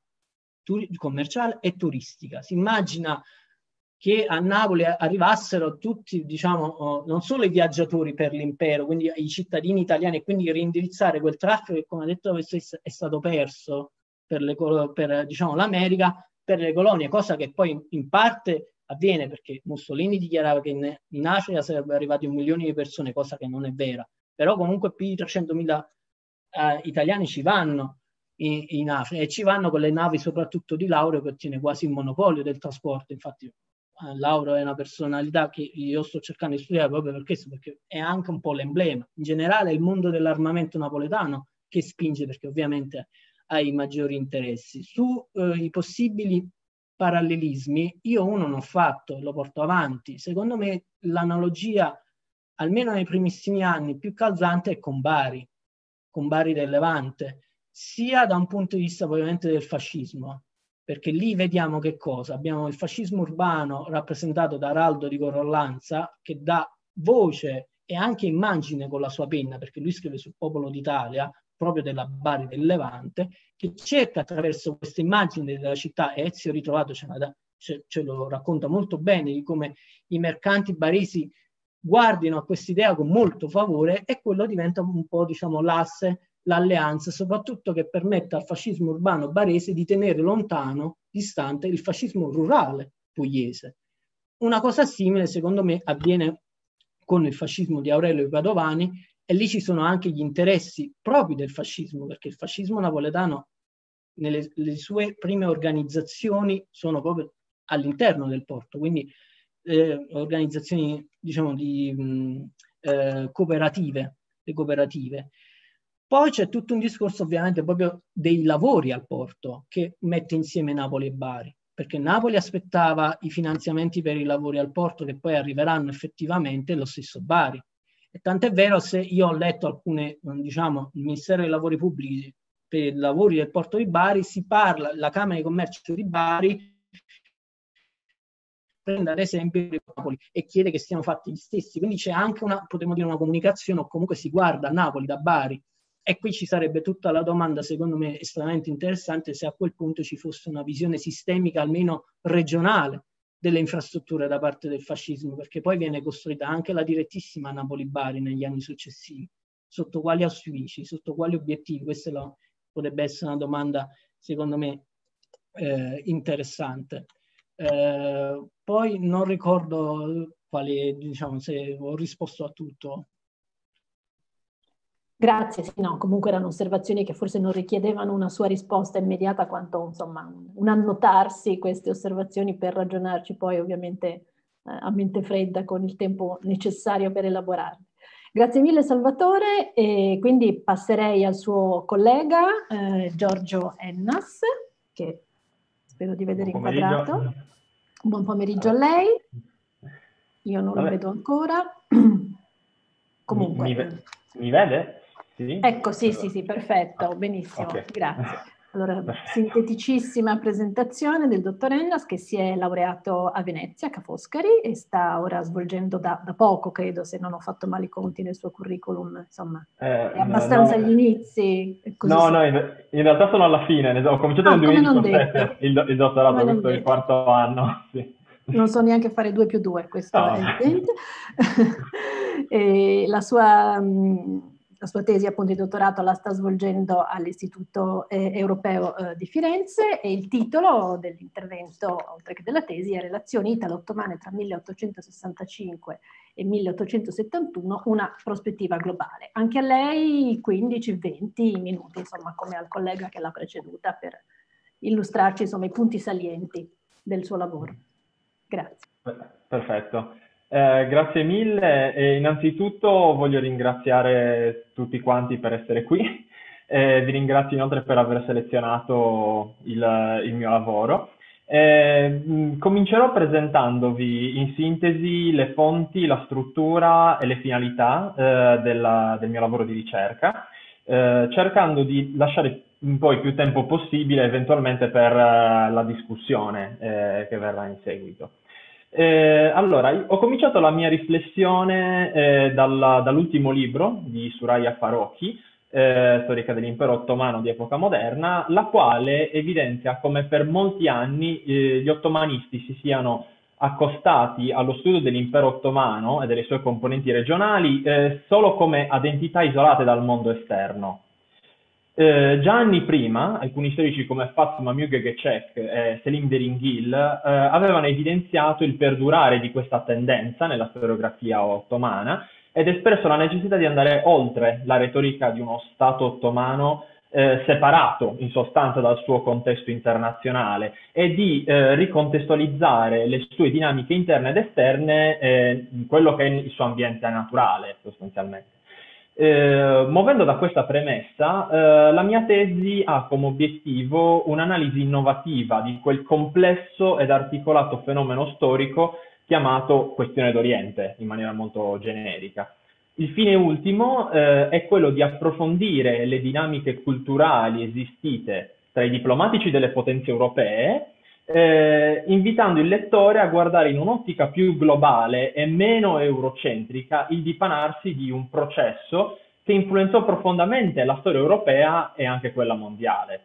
Eh, attraverso il confronto linguistico e tematico dei dispacci italo-ottomani, eh, la tesi eh, sposta il, il, perno della questione orientale non più sull'incapacità dell'impero ottomano di contrastare le spinte nazionaliste nelle proprie province come di fatto eh, viene fatto nella storiografia tradizionale, eh, ma piuttosto si focalizza su quali elementi culturali accomunassero i diplomatici ottomani a quelli delle grandi potenze. Nel XIX secolo la sopravvivenza di successo degli stati eh, cominciarono ad essere sempre più legati all'abilità delle loro elite di sviluppare amministrazioni sempre più moderne ed efficienti. Queste elite vennero educate, secondo le stesse linee guida di quelle europee, con lo scopo esplicito di saper gestire e guidare le riforme e l'assorbimento sempre più consistente di conoscenze provenienti dal continente europeo, da cui, soprattutto da quei centri come Parigi e Londra che, e Vienna, che per gli ottomani erano considerati diciamo, centri propulsori della cultura mh, europea in generale. In questo processo educativo giocò un ruolo fondamentale lo studio del diritto internazionale europeo successivo al congresso di Vienna. Oltre che allo sviluppo di riforme, l'acquisizione di tali conoscenze era finalizzata all'ampliamento dei rapporti politici e culturali eh, tra gli stati eh, e quindi eh, questo era un processo che gli ottomani avevano già iniziato con la pace di Karlowitz nel 1699, ma che subì un'impennata decisiva con il congresso di Vienna. Ed è proprio per questo motivo che negli anni 70 dell'Ottocento la diplomazia ottomana era così interess- profondamente interessata a partecipare a tutti quei congressi nei quali l'impero avrebbe avuto la possibilità di mostrare la sua modernità e l'aderenza ai principi della civiltà, contrastando allo stesso tempo la riunione di qualunque congresso che avrebbe potuto avere come obiettivo la revisione della sua unità territoriale, sostanzialmente. Quindi proprio partendo da questa considerazione è possibile comprendere come l'adozione di pratiche considerate moderne e l'adattamento della propria politica estera a delle linee guida internazionali non siano state semplicemente una questione di mimetismo strategico per l'impero ottomano, come creduto in passato, ma esse certamente permisero all'impero ottomano di evitare l'intervento europeo sul proprio suolo, ma furono anche parte integrante del modo attraverso il quale le elite ottomane ed anche quelle europee parteciparono al grande fermento culturale di quegli anni, promuovendo ed allargando i principi del diritto internazionale al di fuori dei confini canonici dell'Europa occidentale, eh, così come fatto da Francia, Gran Bretagna ed Italia. L'ambiente culturale globale sviluppatosi promosse una rinnovata sensibilità, condivisa anche dai membri delle elite diplomatiche europee. Esso riguardava soprattutto il loro senso di appartenenza alla nascente civiltà globale, riprendendo la definizione di Fabio Grassi di spirito di gruppo, però in una concezione più europea e globale. Proprio in quest'ottica la comparazione tra il caso italiano e quello ottomano è fondamentale proprio al fine di evidenziare le affinità culturali esistite tra i membri della diplomazia europea. Nel caso ottomano, inoltre, nonostante il fascino esotico delle origini eh, di questi diplomatici, la presenza costante di Bey e Pascià nei circoli diplomatici europei conferma il fatto che essi fossero sostanzialmente considerati come membri a pieno titolo dell'universo diplomatico europeo. Proprio attraverso la comparazione dei documenti diplomatici prodotti dai membri italiani e ottomani di questa elite europea globale internazionale, la tesi eh, vuole mettere in evidenza lo spirito di gruppo che esistette e che emerge chiaramente dalla lettura dei dispacci diplomatici. In questo modo sarà anche possibile affrontare nello specifico ogni singola questione internazionale andando oltre la consueta narrazione teleologica eh, della questione d'Oriente. Avendo come obiettivo generale quello di invitare all'adozione di una nuova prospettiva riguardo a tale complesso fenomeno, eh, l'obiettivo che questa tesi si è posta è stato quello di rispondere alle seguenti domande. Gli anni 60 dell'Ottocento possono venire effettivamente considerati come anni fondamentali per lo sviluppo e l'espansione del diritto internazionale? In che modo le diplomazie europee e ottomane adattarono la loro politica estera alla diplomazia di Parigi? Se lo stereotipo del turco e dell'orientale faceva generalmente descrivere i diplomatici europei eh, nell'impero i sudditi del sultano come barbari e fanatici, è possibile anche che la cultura diplomatica del XIX secolo abbia contribuito a creare un senso di uguaglianza tra i diplomatici europei e le loro controparti ottomane? Nel rispondere a tali quesiti, questa tesi usa, come, eh, una, usa una, serie di concetti, eh, di temi, come connettori culturali eh, tra i principali diplomatici di quest'epoca, contribuendo a demolire definitivamente l'idea di una storia ottomana isolata dal suo contesto globale e di un mondo diviso tra Oriente e Occidente. Questa tesi identifica perciò tre obiettivi principali che accomunarono i diplomatici ottomani ed italiani. Il raggiungimento ed il mantenimento della pace internazionale, l'elaborazione e l'applicazione di riforme amministrative, il riconoscimento del, dello status internazionale di grande potenza. Questi obiettivi sintetizzano, a mio parere, il paradigma culturale che caratterizzava ogni attore politico coinvolto nei negoziati internazionali degli anni 60 del secolo. Inoltre, questa condivisione di temi e pratiche diplomatiche indica una comunanza culturale, la quale a sua volta prova l'esistenza di un generico senso elitario di appartenenza tra i diplomatici ottomani ed europei. Dai documenti riguardanti tale complesso fenomeno, infatti, emerge chiaramente un senso etico comune ai diplomatici europei ed ottomani, basato su patriottismo, servizio allo Stato e appartenenza culturale agli ideali di un'astratta eh, e globale civiltà europea. Questa idea di civiltà e anche questo costrutto è impossibile da descrivere in maniera univoca, eh, questo senso di appartenenza è stato definito come una sorta di stato d'animo o sentimento condiviso, come dice anche Schull, di mood, eh, che avrebbe connesso tra loro i membri di questa prima comunità diplomatica globale, eh, a causa della tendenza di questa cultura diplomatica di essere simultaneamente europea ed internazionale, eh, il risultato fu la creazione di una prima classe elitaria che si percepiva allo stesso tempo come europea e globale e nella quale erano inclusi gli italiani così come anche gli, euro, eh, gli ottomani. Per quanto riguarda i documenti analizzati, le fonti ottomane hanno offerto un ottimo strumento per superare i limiti correnti della storia delle idee Infatti, grazie alla loro completezza e alla loro leggibilità, questi documenti hanno permesso l'adozione di un approccio interdisciplinare che combina la storia globale, la storia delle idee e la storia internazionale, evitando allo stesso tempo il rischio di eurocentrismo. Dal punto di vista dei documenti, dai documenti diplomatici ottomani scritti dopo il congresso di Vienna, emerge chiaramente un'etica diplomatica focalizzata sulla buona condotta internazionale degli Stati i riferimenti costanti ai principi di legittimità, al rispetto dei diritti di sovranità e al tradizionale diritto delle genti sono rilevanti per gli storici in quanto essi rappresentano il livello di assorbimento dei principi del diritto internazionale introiettati dalle elite imperiali. L'apprezzamento di qualità quali quelle del pragmatismo e della razionalità delle pratiche del diritto internazionale europeo è una prova dello, specif- dello sviluppo di una specifica modernità ottomana.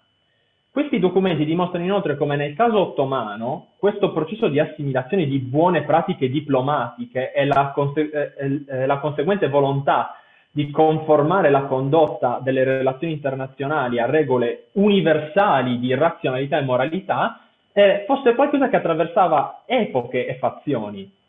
Per questa ragione, eh, i documenti conservati nel Başbakanlık Osmanlı Arşivi di Istanbul, l'archivio mh, del primo ministro ottomano, eh, sono basilari per dimostrare il ruolo attivo giocato da agenti non strettamente europei, ma coinvolti nel processo di allargamento del diritto internazionale in questo secolo, al di fuori dei confini europei così come erano codificati per esempio da un'entità come la Santa Alleanza. Eh, un fenomeno rimasto eh, ancora largamente oscuro nei suoi dettagli, questo, di, questo allargamento. Eh, anche i dispacci italiani, eh, collocati nell'archivio di Stato e negli archivi storici del Museo del Risorgimento a Torino e all'archivio della Farnesina a Roma, documentano l'evoluzione di un'etica diplomatica basata sulle medesime linee guida presso le elite sardo-italiane, anche se eh, ovviamente si tratta di qualcosa di differente in quanto nei documenti sardo-italiani la componente sovversiva, avrebbero definita gli ottomani, era più marcata eh, a causa del desiderio delle elite sardo-italiane di ricontrattare l'ordine internazionale di Vienna e, e di Parigi. I documenti presi in considerazione eh, sono essenzialmente i dispacci diplomatici. Eh, questo genere, eh, adottato come genere ufficiale per le comunicazioni diplomatiche fin dal congresso di Aquisgrana del 1818, si rivelò fondamentale per comunicare con rapidità tra governi e diplomatici riuniti al congresso. Ora, il bisogno di rapidità ed efficienza richiedeva la composizione di brevi ed esaustivi documenti, eh, come ben sappiamo. Allo stesso tempo, però, la, la tipologia del dispaccio che veniva utilizzata tra gli anni eh, 50 e gli anni 70 eh, presenta una ricchezza lessicale mh, rimarchevole e una grande libertà degli autori nei contenuti, infatti sono, sono estremamente approfonditi come documenti. Eh, perciò è facile rilevare come eh, questi documenti ci forniscano informazioni eh, riguardo non soltanto ai dati riportati in quanto tali, ma anche riguardo al punto di vista e alla preparazione culturale di, di chi scrive, degli scriventi.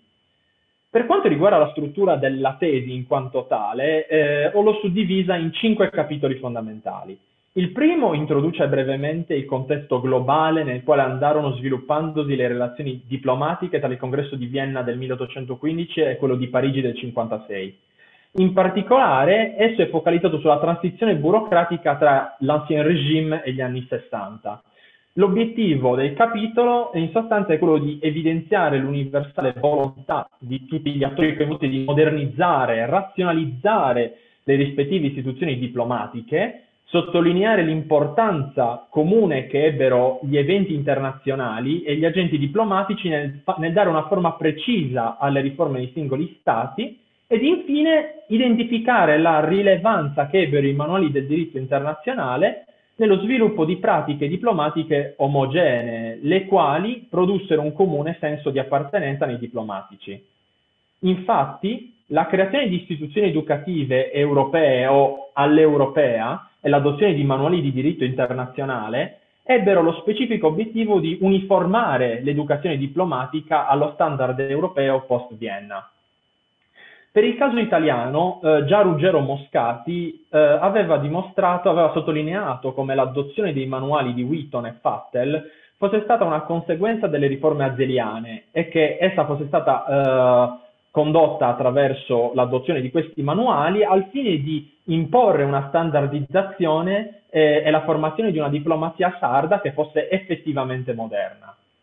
Per quanto riguarda l'impero ottomano, invece, eh, il rinvenimento delle liste dei manuali di diritto internazionale europei letti eh, e studiati nel Terjum Audace, nella Camera di traduzione, conferma in maniera definitiva il ruolo svolto da tali testi nella rivoluzione culturale prodottasi nella diplomazia ottomana all'inizio del XIX secolo, confermando quanto già sostenuto da Davison e Kuneralp.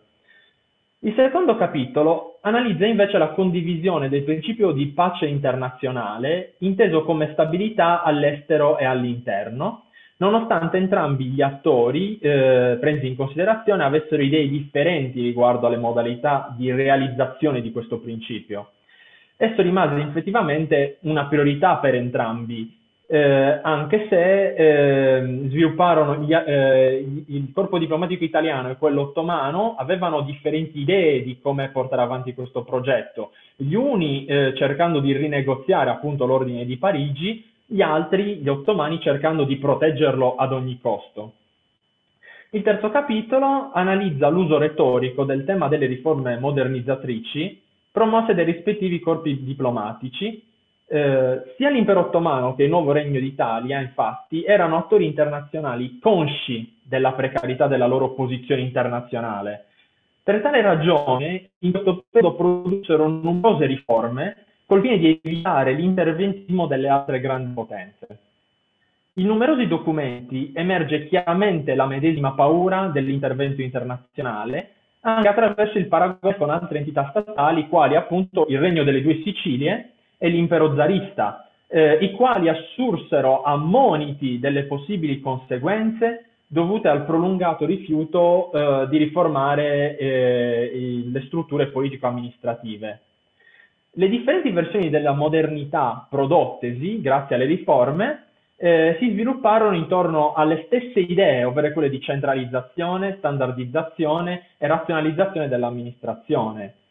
Eh, se le modernità prodottesi in questo modo furono ognuna qualcosa di unico e, e peculiare, a causa delle differenze socio-economiche di ogni regione globale, eh, secondo eh, Schull, il macro concetto di modernità, civilizzazione, rimase sostanzialmente qualcosa di astratto e teorico, corrispondendo in genere ad uno stato d'animo e ad un costrutto socioculturale.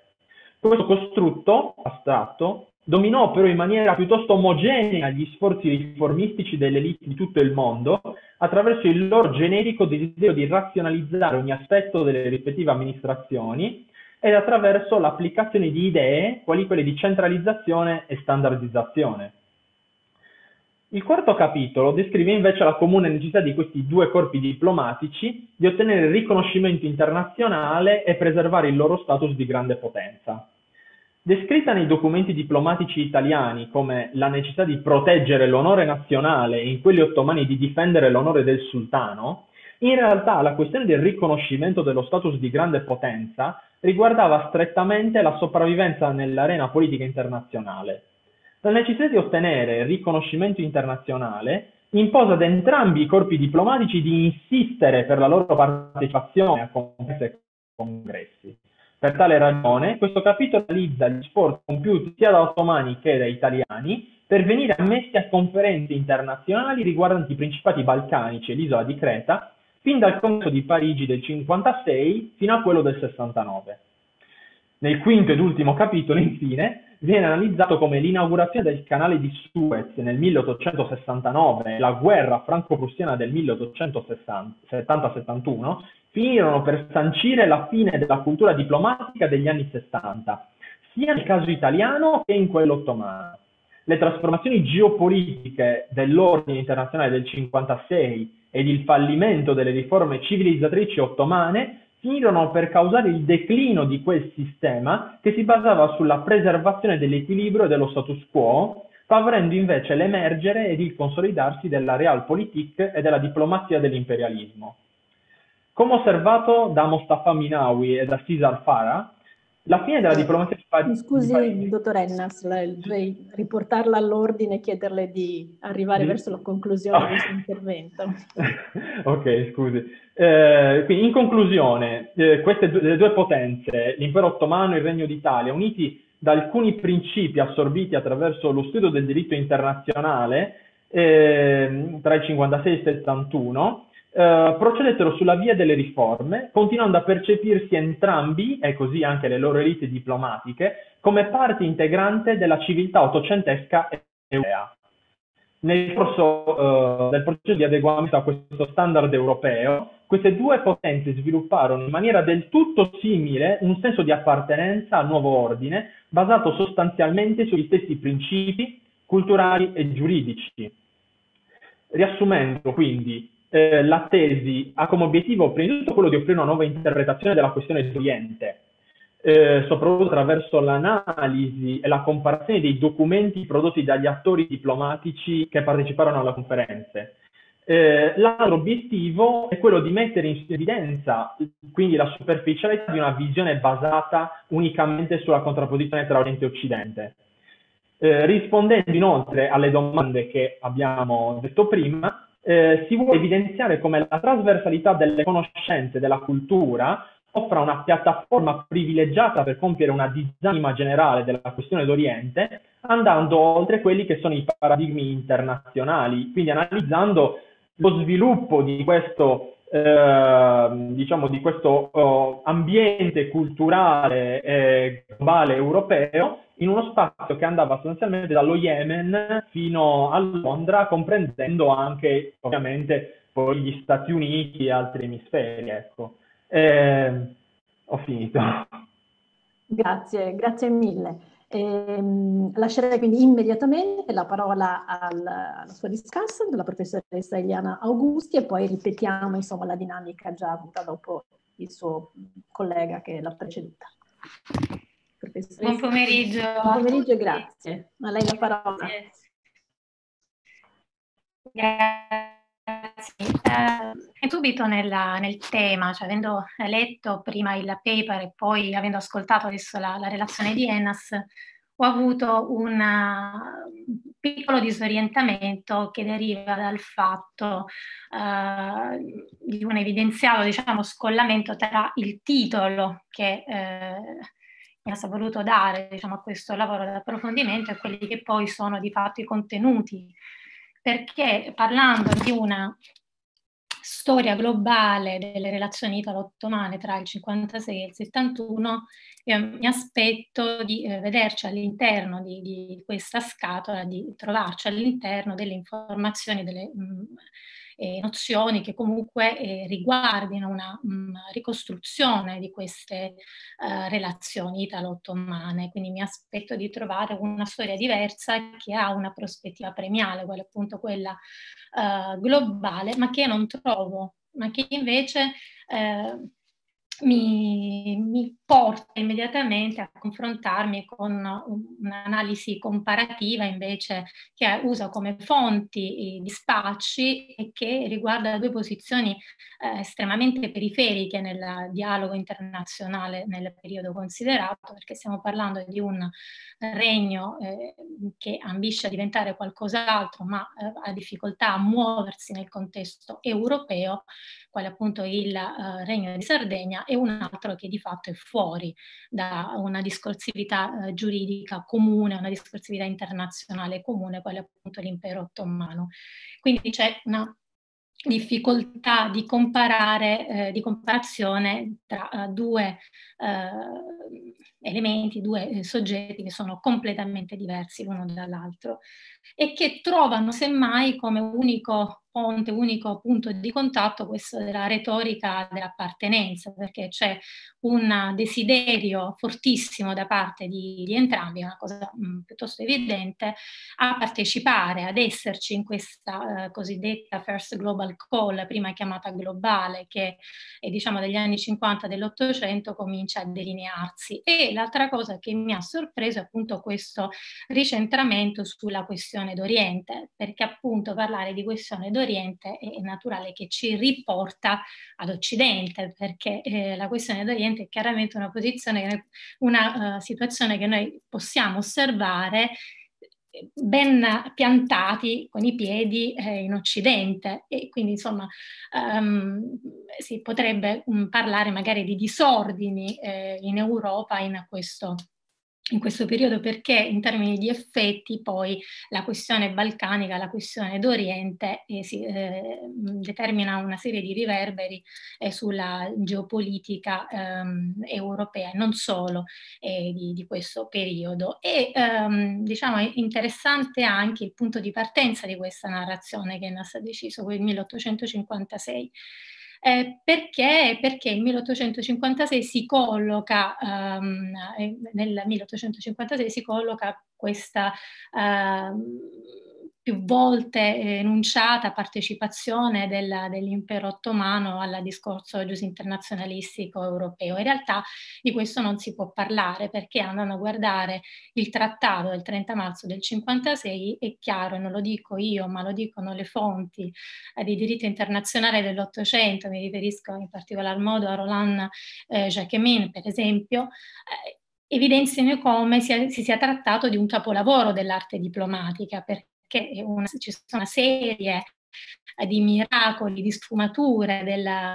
della scrittura diplomatica che creano poi l'illusione eh, della partecipazione che sarà poi eh, la stessa illusione che porterà eh, l'impero ottomano, come diceva giustamente Enas, a pestare più volte i piedi per ricordare a tutti che dal 1856 l'impero c'è nel discorso giuridico internazionale e questo a conferma del fatto che forse non c'è mai stato.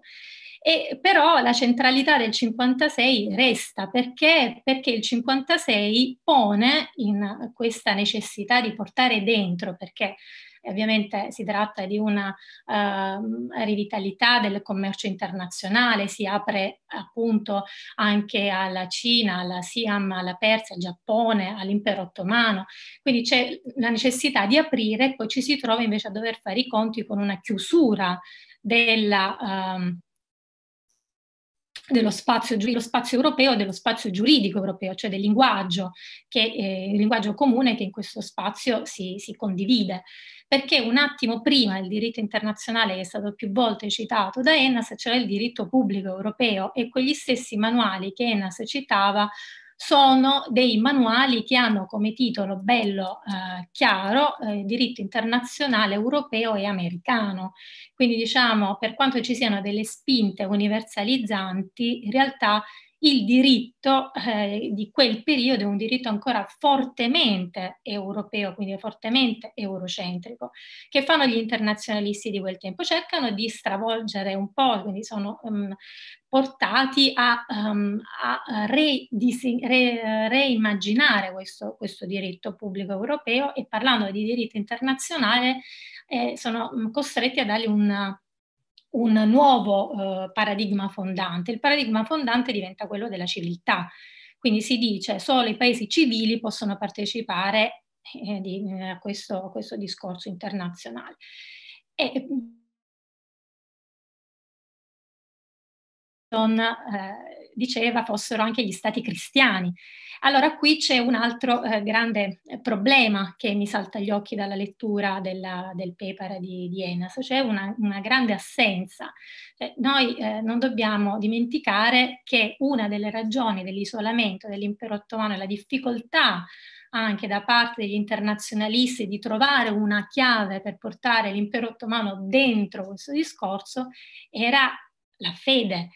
la Sharia, cioè la Sharia c'è di fatto, non possiamo far finta che non ci sia o che non ci sia mai stata. Era di fatto un problema ed era anche piuttosto ingombrante e determinava eh, poi di fatto questi grandi, questi signori, questi intellettuali del tempo a fare uno sforzo in più, uno sforzo creativo per cercare di superare questo limite che era un limite oggettivo nella definizione di, lingua, di, scusate, di un linguaggio comune. E quindi qui diciamo è interessante e la trovo ottima l'intuizione del uh, guardare alla diplomazia, perché la diplomazia potrebbe essere la via per um, in qualche modo uh, trovare questo punto di contatto con non poco sforzo da parte dell'impero ottomano. Perché? Perché si tratta di imparare un linguaggio. Nel 56 che è appunto una data centrale, andando a vedere gli atti, io non so se ho avuto modo di farlo, però gli atti del trattato di, che portano poi alla firma del trattato, è imbarazzante l'atteggiamento dei diplomatici, dei plenipotenziari, dei pascià ottomani, perché loro non sono in grado di gestire per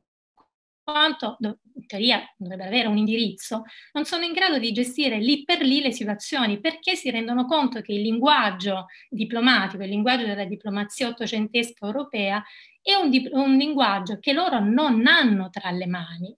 e quindi sono costretti a rinviare eh, più sedute, quindi si rinvia la seduta successiva per aggiornamento, quindi a riferire e poi reintervenire non vi nascondo, non vi nascondo quanto sia ugualmente imbarazzante eh, la, mh, mm, diciamo, eh, la, la, scarsa voce che hanno i plenipotenziari sardi. Eh, lo stesso Cavour parla una volta e neanche, non gli danno neanche particolare attenzione perché? Perché a figurarsi se il Regno di Sardegna può avere voce in capitolo in un uh, momento di costruzione della pace, dell'ordine eh, dell'Europa, come poteva essere quello, e considerando che vi partecipa anche per esempio la Prussia che non aveva mosso un, una, un soldato nella uh, guerra di Crimea. Quindi c'era un interesse ad esserci assolutamente, ma certo la, la, il Regno di Sardegna non era la Prussia evidentemente, l'impero ottomano era fuori per altre ragioni. E quindi la diplomazia, dicevo, può essere la, la via in questo senso, in questa direzione per ehm, per leggere e potrebbe essere effettivamente ehm, interessante qui utilizzare un, un confronto tra, uh, tra, precari, insomma un confronto tra poveri, quale appunto questo delle, delle due figure che Enas ha scelto, che diciamo mi, uh, mi viene da chiedergli perché proprio uh, diciamo queste due figure eh, quali sono appunto il Regno di Sardegna e l'Impero Ottomano periferiche per descrivere un, um, una, diciamo una via, un canale come appunto quello diplomatico così interessante. E, ehm, e poi tra l'altro parlando di, eh, di similarità, eh, diciamo, la difficoltà a...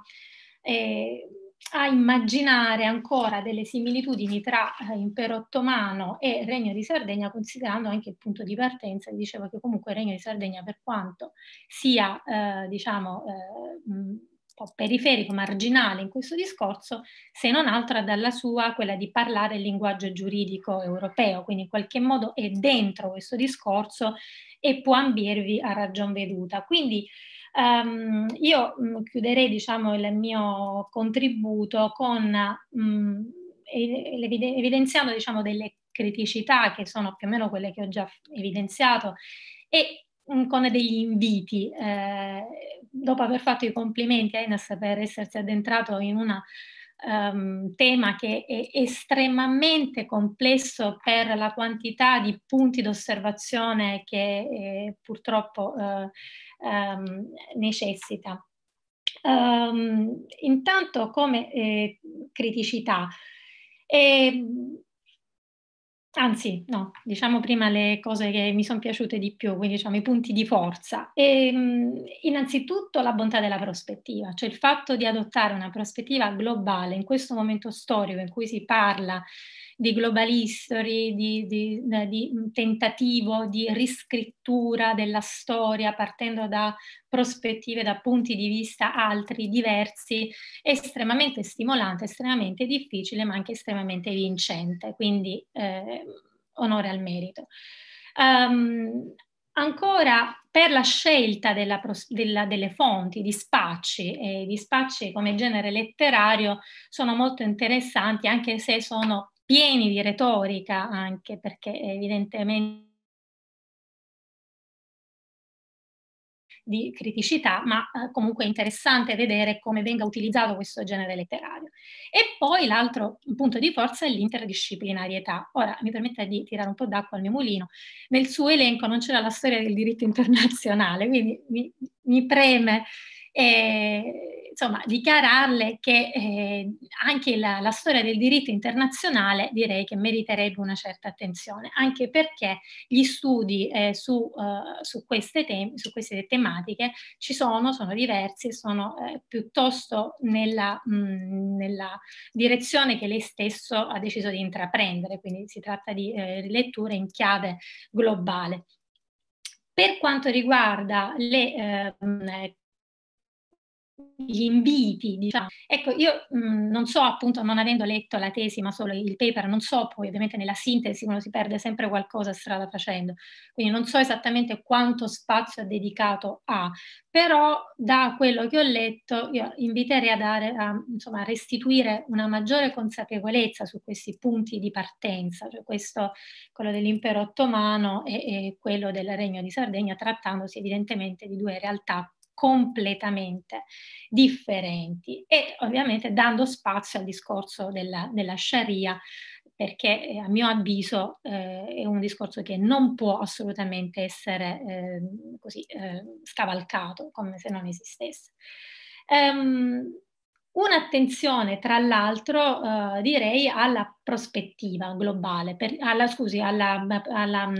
alla pros- al metodo comparativo, alla prospettiva comparativistica, perché se quello che intende fare non è una storia globale delle relazioni italo-ottomane tra 56 e il 71,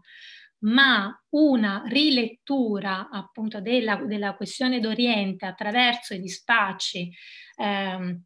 diplomatici, eccetera, eccetera, beh, a quel punto bisogna avere una, bisogna saper maneggiare con una certa agilità e consapevolezza gli strumenti della comparazione perché eh, si tratta evidentemente di due contesti, lo dicevo prima, completamente diversi. Tra l'altro un comparativista, quale Fabio Ruggio, di- direbbe che quello dell'impero ottomano è chiaramente un contesto diciamo quasi intransigente per alcuni aspetti uh, che riguardano. Primo problema, il problema è che l'impero ottomano è un impero grande, plurisecolare, con grande tradizione, ma malato. E gli occidentali in realtà non si mettono d'accordo su come trattare l'impero ottomano e non se ne mettono e, e, e, per questo c'è tutta la guerra di Crimea c'è un problema che la Russia, l'impero zarista dall'altra parte lo considera altrettanto debole, vuole mangiarsi dei pezzi, e allora dicono no, non te lo puoi mangiare perché? Perché gli occidentali, eh, come dire, eh, considerano questo grande impero un buffer state uno Stato cuscinetto per non fare al solito, come dire, eh, far arrivare l'impero zarista in Europa. Se mai c'è una questione d'Oriente, mi spiace autocitarmi, ma lo faccio ugualmente, deve essere messa in relazione al grande gioco che si sta svolgendo nell'Asia centrale. E cos'è la, come dire, la, in quegli stessi anni? Eh? E che cos'è il punto di, eh, come dire, di collegamento tra i due? È l'ascesa del, dell'impero britannico, dell'impero coloniale britannico verso, eh, come dire, eh, verso Oriente ovviamente, ma verso, e quindi anche il Centro Asia e quindi tutte le guerre afghane, quindi le guerre indiane e così via, e poi ovviamente verso i territori del, eh, dell'impero ottomano. Ovviamente tipi di imperialismo diversi, per carità, eh, tipi di eh, espansione eh, anche economica diversi, ma di questo si tratta. Io non vedo nessuna forma di parità in quel, in quel, eh, in quel secolo che poi finirà con la prima guerra mondiale e quindi con la spartizione dell'impero ottomano, quanto, tanto mai, eh, quanto mai invece un lento e progressivo, come dire, ehm, ehm, mettere via, cioè scacciare l'impero ottomano dall'Europa, dalla, dalle penisola balcanica e così via, fino a, a diciamo, controllarlo e a uh, restringerlo nei confini asiatici. Quindi questa è prima, la prima uh, questione che eh, vorrei porre. Quindi le unità, eh, la seconda, scusate, la prima è l'unità di comparazione che mi sembrano abbastanza incomparabili. La seconda è la, eh, come dire, la prospettiva globale eh, che sembra essere una prospettiva veramente astratta, fuori dal tempo, dal contesto storico delle relazioni internazionali dell'Ottocento, che è veramente il secolo inglese, il secolo della, della Gran Bretagna. La cosa però eh, se Ilaria mi dà un altro minuto di tempo. Eh, sì, eh, diciamo, pregherei tutti di sì, essere molto concisi. l'aspetto interessante certamente invece è quello della storia di, eh, culturale dei diplomatici. La storia culturale diplomatica, questa è molto interessante, fatta attraverso gli spacci e a quel punto eh, però eh, non, non tempo, non mi soffermo questo è perché non parlare semplicemente delle relazioni italo-ottomane per quello che sono, cioè le relazioni dei, eh, dei corpi diplomatici e il cambiamento della, della lingua eh, dei, eh, appunto, eh, dei diplomatici attraverso i dispacci. Però l'ultimissima eh, considerazione non sia troppo, eh, come dire, subordinato alle fonti nel senso che deve anche dare una lettura di questi dispacci che non, sia, non, che non li prenda troppo sul serio, ecco, perché anche eh, il linguaggio dei diplomatici potrebbe nascondere, e sicuramente nasconderà pretese, ambizioni, debolezze e, e quant'altro, e che quindi non va, eh, come dire, eh, preso, ma, ma, guarda, questi ottomani vogliono fare così, sono quasi come gli europei. E, cioè farei anche su questo una tara. Grazie, e adesso quindi eh, Simon Levisullan, Giorgio Del Zanna, Francesco Caccamo e anche Gia Cagliotti si era velocemente prenotata. Pregherei sì tutti di essere il più sintetici eh, possibili. Eh, ti ringrazio. Sì, io trovo che questa sia una ricerca importante e chiaramente ambiziosa. Eh, evidentemente, come è stato già sottolineato, eh, la diversità dei due casi esaminati eh, comporta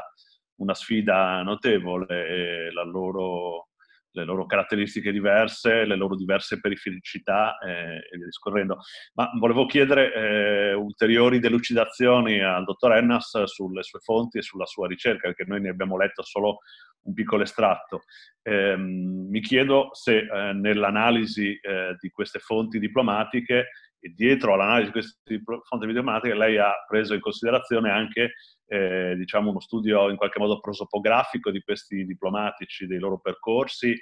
eh, della loro formazione, eh, della loro biografia intellettuale e politica, eh, soprattutto mh, o appunto come gruppo o eh, attraverso alcuni casi di studio, perché per arrivare a diciamo, decodificare il linguaggio e la visione di questi personaggi è chiaro che uno studio anche, mi sembra che uno studio che riguarda la loro formazione eh, sia, sia, fondamentale. Eh,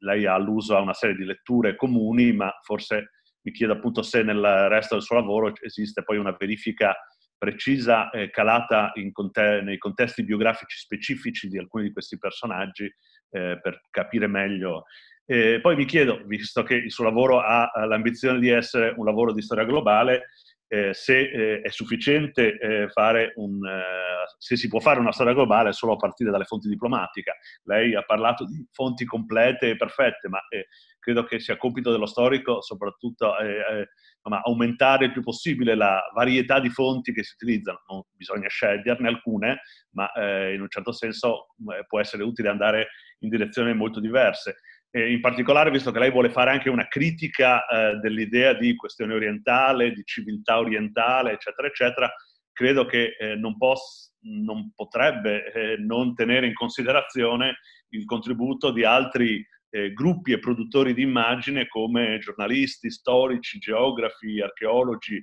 letterati, non dico tutti, ma eh, evidentemente queste nozioni di cui lei si occupa e che vuole in qualche modo decostruire sul piano storico eh, hanno molti soggetti produttori eh, e quindi la verifica dei luoghi di produzione e, e dei ruoli diciamo, di generazione di questo immaginario, anche solo per misurarne poi la portata e l'influenza sul corpo diplomatico, credo andrebbe eh,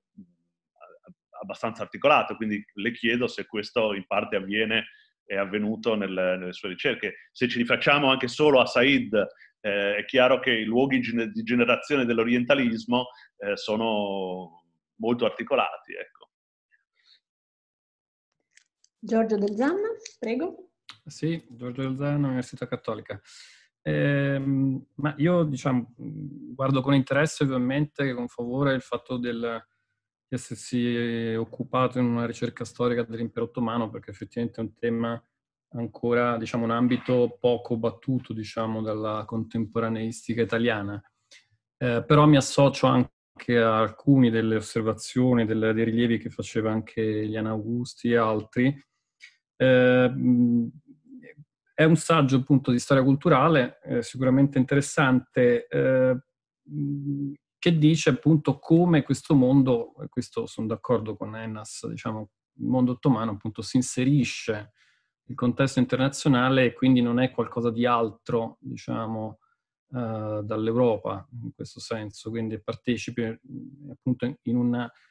in, in quel contesto, diciamo, di, di, di, crescente globalizzazione poi che conosce il XIX secolo. Però ecco, la domanda che mi veniva è questa, cioè da una parte mi chiedo in fondo appunto la diplomazia un po' è la lingua degli stati, no? Ecco, ma in fondo, eh, voglio dire, la, la, non c'era bisogno di aspettare la questione d'Oriente perché la, l'impero ottomano fosse partecipe un po' del sistema delle relazioni con gli stati europei, insomma dal Cinquecento in poi praticamente. Che... Quindi voglio dire, non c'è in fondo, la diplomazia è una cultura comune perché è anche una cultura statuale che è molto forte nella tradizione ottomana, che in fondo questo forse è anche qualcosa mi chiedo se non sia da verificare sul più, sul più lungo periodo. Ovviamente è chiaro che appunto il diritto internazionale è diventato un terreno tipicamente europeo che diventa anche globale nel corso del XIX secolo, però forse anche, ci sono anche degli elementi eh, di più lungo periodo che secondo me restano. E l'altro aspetto che mh, non è stato assolutamente toccato, ma volevo chiederle se per caso un po' lei se ne è occupato, cioè mi chiedevo un po' il ruolo dei cristiani, perché nella diplomazia ottomana la componente cristiana è stata una componente molto importante, penso prima ai greci, poi soprattutto agli armeni, e eh, in fondo l'elite cristiana ottomana era un'elite che condivideva ampiamente una cultura che era la cultura anche dell'elite, diciamo, del Mediterraneo occidentale, insomma, dell'Europa. Quindi c'era, come dire, mi sembra anche che era una, un inserirsi dentro una rete di relazioni assolutamente che appunto, ecco, in cui un ruolo forse dei cristiani eh, c'è in questo senso perché avevano, intrattenevano da, da, da, generazioni delle relazioni ed erano presenze, erano anche reti, chiaramente, quindi in questo senso anche mi sembra che questa condivisione, diciamo, di una comune cultura, eh, diciamo, moderna, chiamiamola così, mi sembra un dato anche abbastanza mh, tipico, insomma, ecco. L'ultima cosa, anch'io mh, ecco, qualche dubbio sul discorso della storia globale, nel senso, eh, cioè, ho qualche perplessità sul fatto che storia globale sia comparazione. Io credo che sia appunto una ricostruzione di interazioni. Quindi sarebbe interessante, cioè sarebbe una storia globale il fatto di vedere quanto la cultura diplomatica ottomana e europea sia intrecciata, cioè se, quanto si sono contaminate. La comparazione è una comparazione, non è esattamente, secondo me, ecco, una storia eh, in senso di, di world history. Ecco. Grazie, quindi Francesco Caccamo e poi Gia Cagliotti e poi le ridiamo la parola. Allora, buongiorno, spero che mi vedete ehm, e mi sentite. Sono Francesco Caccamo dell'Università di Chieti. Ehm, io ho seguito l'intervento con interesse perché diciamo, mi sono occupato piuttosto di, di sfuggita di, di, di questo tema e e quindi eh, ero, ero, avevo alcune curiosità. La prima, ehm, diciamo, lei, lei eh, Ennas è stato, diciamo, cita i documenti, è stato negli archivi ehm, ottomani, se, non, se ho capito bene. Ecco, volevo capire, eh, eh, lei però conosce di sicuro anche questa pubblicazione, questi due volumi pubblicati a cura di Sinan Kuneralp sui eh, documenti diplomatici ottomani sull'unificazione italiana. Ero curioso proprio, mh, era una curiosità mia di sapere se ci sono delle fondamentali differenze tra quello che ha riferito in archivio e, e questa pubblicazione piuttosto abbastanza corposa, ecco, sono due, due tomi, eh, proprio esattamente relativi al periodo che, del quale lei si è, si è occupato, ecco, quindi c'era questo aspetto tecnico. Eh, poi, eh, forse rispetto agli altri interventi, eh, a me interessava proprio più che, questa, che una prospettiva globale, interessava proprio quella eh, l'aspetto dei, dei rapporti italo-ottomani e ehm, indubbiamente concordo sul fatto che siano elementi quasi incomparabili eh, su quello che è stato detto da, da molti. Eh, se, secondo me però proprio da questa differenza radicale di prospettive che forse nel suo intervento Ennas non era tanto in evidenza e invece poi un po' lo ha detto durante la lo ha detto meglio durante la discussione. Ecco, a me sembra che siano due soggetti che si pongono su posizioni estremamente quasi antitetiche proprio. Il, il eh, Regno di Sardegna e poi il Regno d'Italia in questo periodo sono una piccola media potenza in ascesa che si afferma sulla base, perlomeno pretende una legittimazione sulla base del principio di nazionalità L'impero ottomano invece è una grande potenza in decadenza che cerca il più possibile di mantenere uno status quo assolutamente contrario al principio di nazionalità. Quindi, eh, però mi sembra che proprio da questa eh, incomparabilità, se vogliamo, emergano, emergano, degli elementi stimolanti che, che possono far riflettere. Ecco, quindi da, da, questo punto di vista apprezzo, apprezzo la sua ricerca. E, e poi volevo fare uno, un'osservazione semplicemente, si è parlato delle, della differenza, delle differenze religiose e volevo chiedere eh, a Ennas se ha potuto riscontrare invece quello che ho riscontrato io nel, nella in questa documentazione ottomana, almeno io in quella pubblicata ovviamente, e cioè che paradossalmente questo aspetto religioso nella, nel linguaggio diplomatico non emerge quasi per niente eh, perché i diplomatici, è molto interessante come i diplomatici ottomani eh, si, si, pongano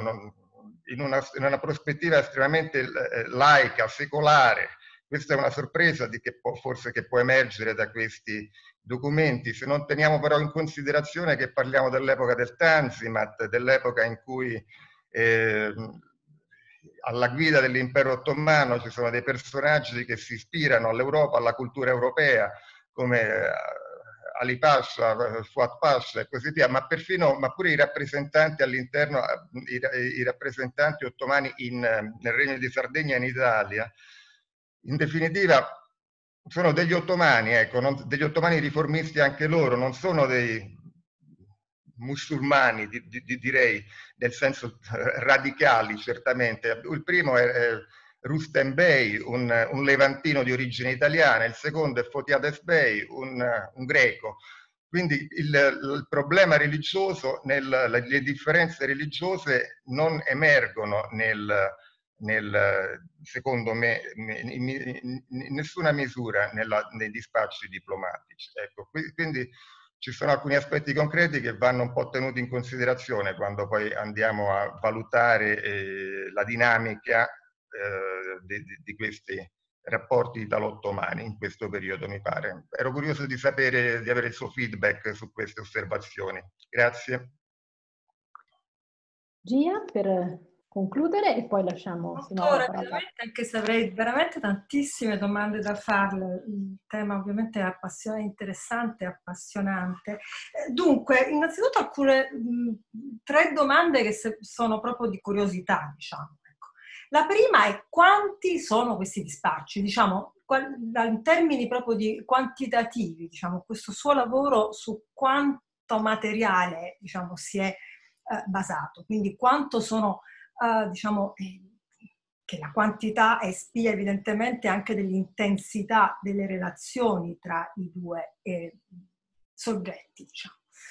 Uh, la seconda è una questione relativa alla lingua, cioè immagino che si tratti di tutti i dispacci in francese, ehm, però immagino anche che ci sia poi invece una documentazione di corredo aggiuntiva, um, uh, di preparazione che potrebbe essere uh, in turco ottomano, ma anche qui insomma è una, è una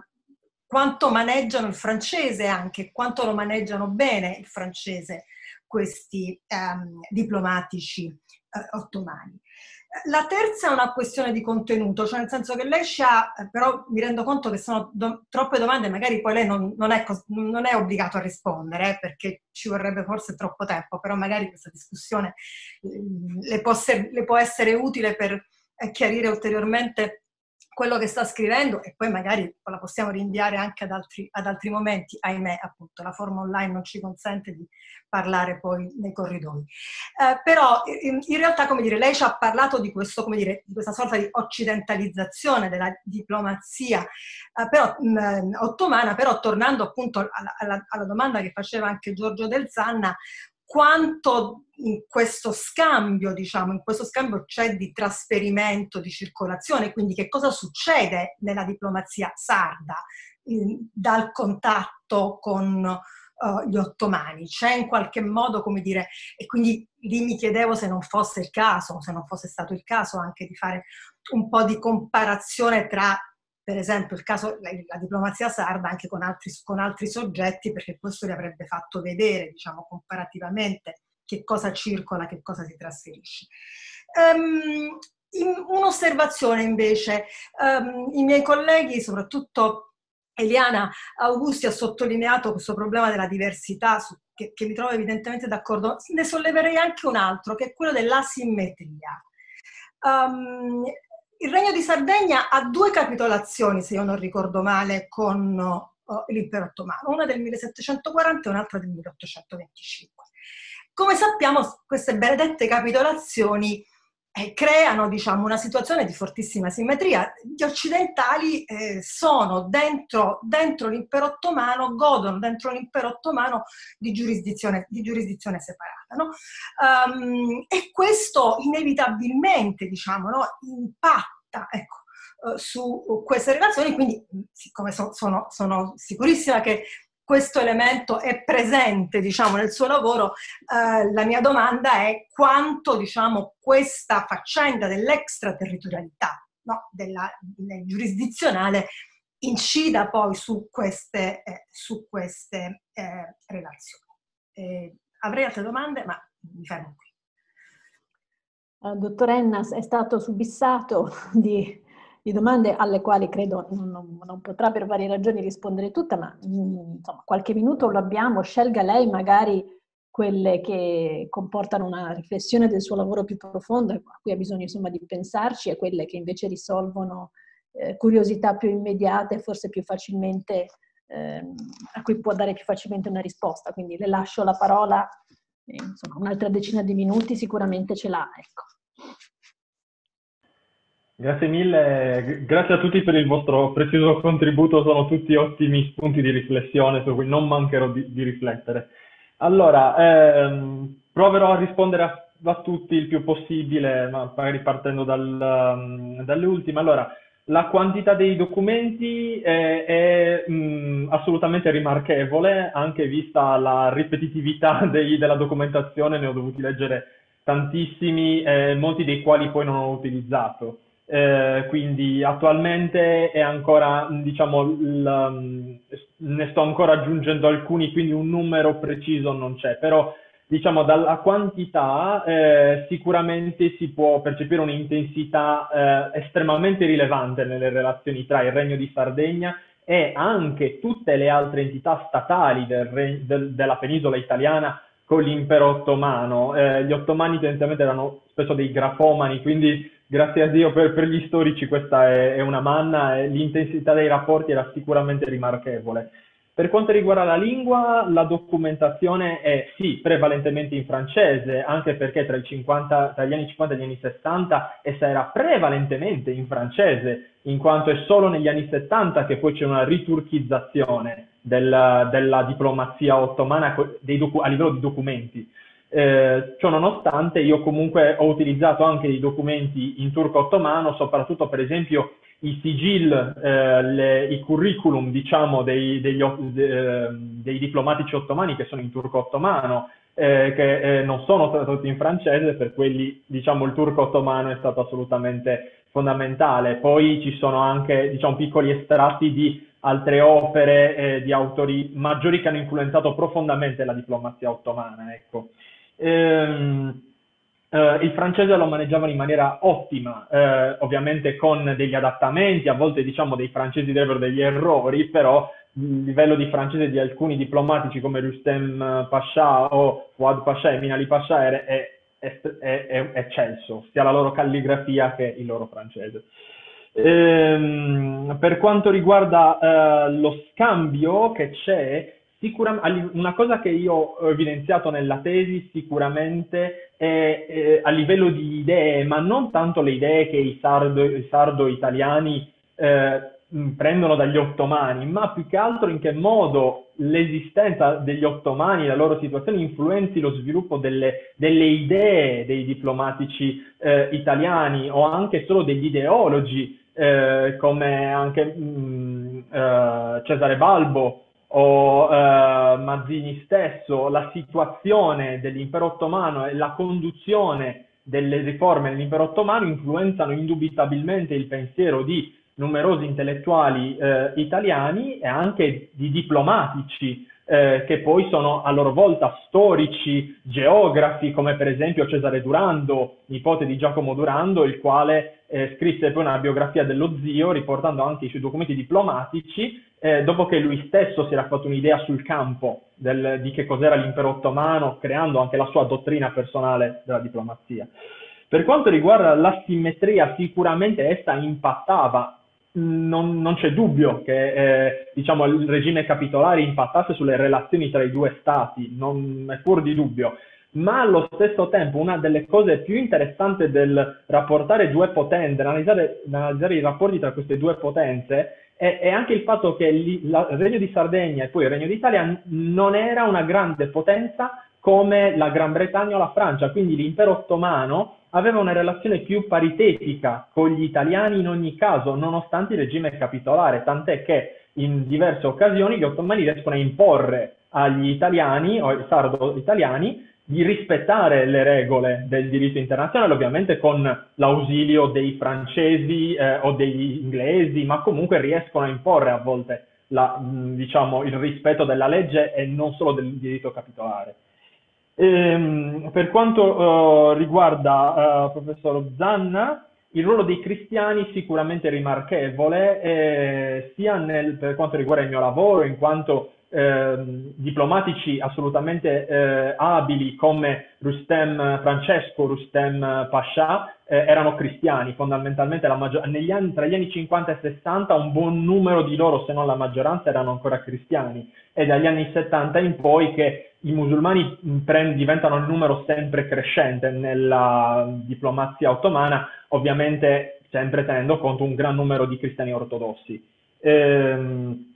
per quanto riguarda eh, il dubbio sulla storia globale, se sia o meno comparazione, la mia risposta è che più che altro è difficile dire cosa sia la storia globale. Quindi eh, ognuno, diciamo, all'Istituto Europeo eh, si discute continuamente su cosa sia storia internazionale e storia globale. Eh, nel mio caso io ehm, eh, mi limito al fatto che eh, si osserva alla, allo sviluppo delle relazioni italo-ottomane in una prospettiva il più globale possibile, cioè eh, attraverso il sistema dei congressi in cui si parlava per esempio della questione marocchina, sia italiani che ottomani interagivano eh, diciamo in un contesto globale, quindi probabilmente servirebbe più tempo per approfondire ulteriormente mh, l'idea. Comunque in generale che, è che è abbastanza difficile dire cosa sia effettivamente la storia globale. Ecco. Eh, per quanto riguarda eh, i volumi di Sinan Kuner li conosco, ovviamente li ho letti e li ho utilizzati abbondantemente nella, nella mia ricerca, in quanto sono dei testi di grandissima qualità e estremamente utili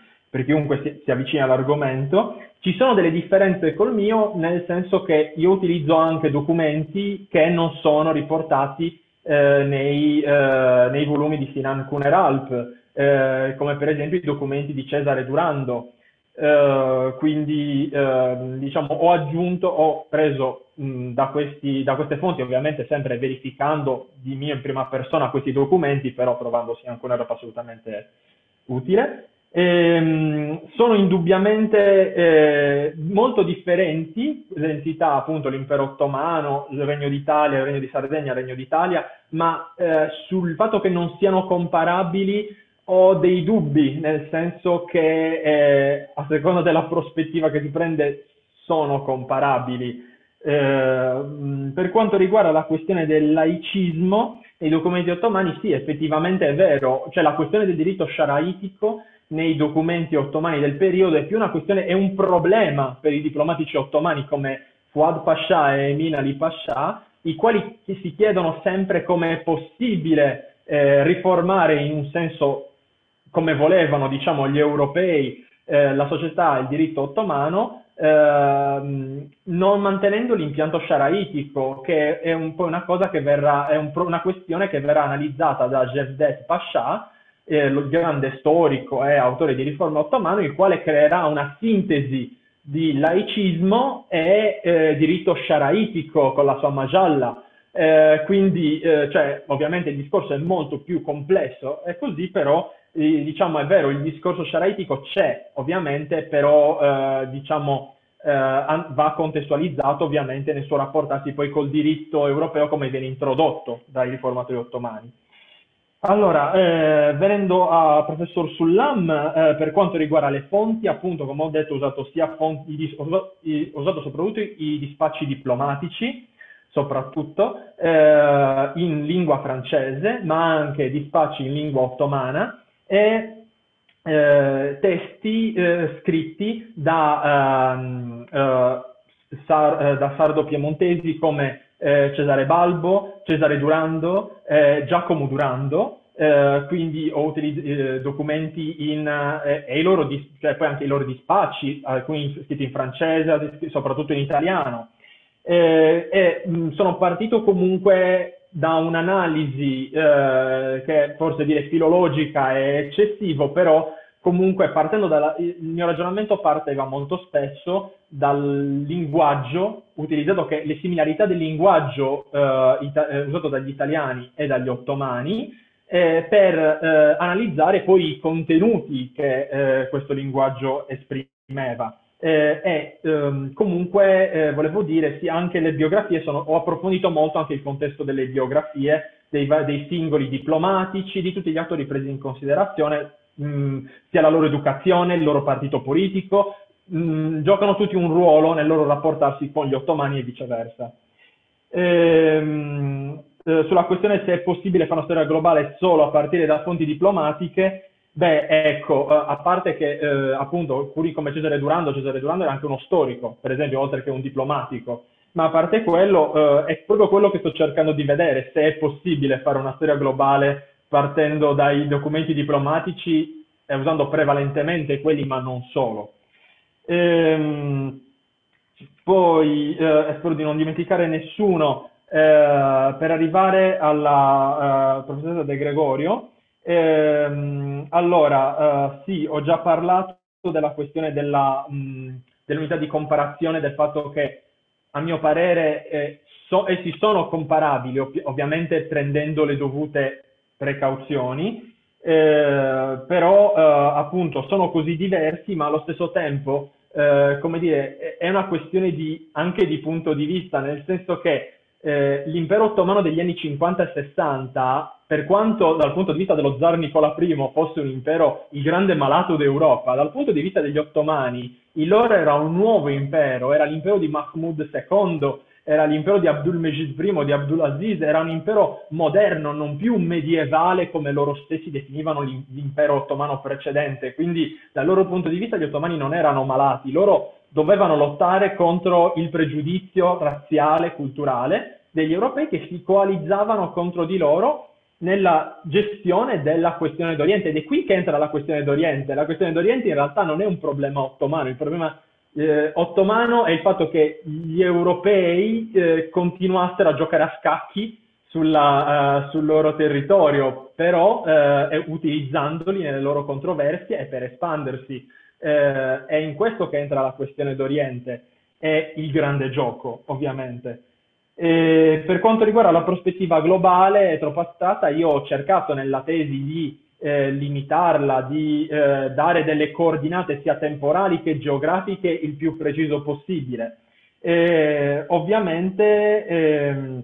cercando anche sempre di fare molta attenzione alle fonti e considerando sempre il fatto che essendo fonti diplomatiche sono fonti di parte o comunque però alcune di queste non venivano scritte per essere lette da altri, erano scritte dai diplomatici ai loro ministeri e quindi erano anche scritte eh, in un'ottica di questo documento confidenziale non deve essere letto da altri che da noi. Quindi diciamo, è, sono fonti complesse sicuramente che io ho cercato uh, di, di, analizzare in un'ottica comunque cioè, facendoci molta attenzione. Ecco, quello sì. Spero di aver risposto a tutti e eh, mi scuso se non, se non, sono stato in grado. No, no, beh, è stato subissato di domande, ci mancherebbe. Eh, Benissimo, allora arriviamo all'ultimo intervento, quello di Francesco Cutolo. Eh, Francesco che vabbè, conosco molto bene perché dopo essersi laureato a Firenze fa il dottorato alla scuola normale e quindi siamo, eh, siamo, sotto lo stesso tetto. Eh, Francesco ci presenta eh, un intervento che eh, dal titolo Il nemico nelle testimonianze dei soldati italiani sul fronte austriaco 1915-1918 e il Discussion, come anticipato eh, in precedenza, non è eh, Marco Mondini, come segnalato nel programma, ma è eh, Simon Vissuta. Francesco, te la parola. Buonasera, eh, grazie a tutti eh, per essere intervenuti. Eh, io ho preparato un PowerPoint per seguire meglio l'intervento. Vediamo se riuscite a, a vederlo. non so. Ecco, comunque... Io lo vedo. Benissimo. Penso che quindi sia tutto sì, okay. credo. Bene. Eh, allora, io mm, nel mio intervento eh, andrò a delineare brevemente l'oggetto della ricerca, la storiografia di riferimento e poi andrò a analizzare la struttura della tesi, gli argomenti e, i, e, come le fonti e la metodologia con cui ho trattato le fonti, oggetto appunto della, de, della tesi.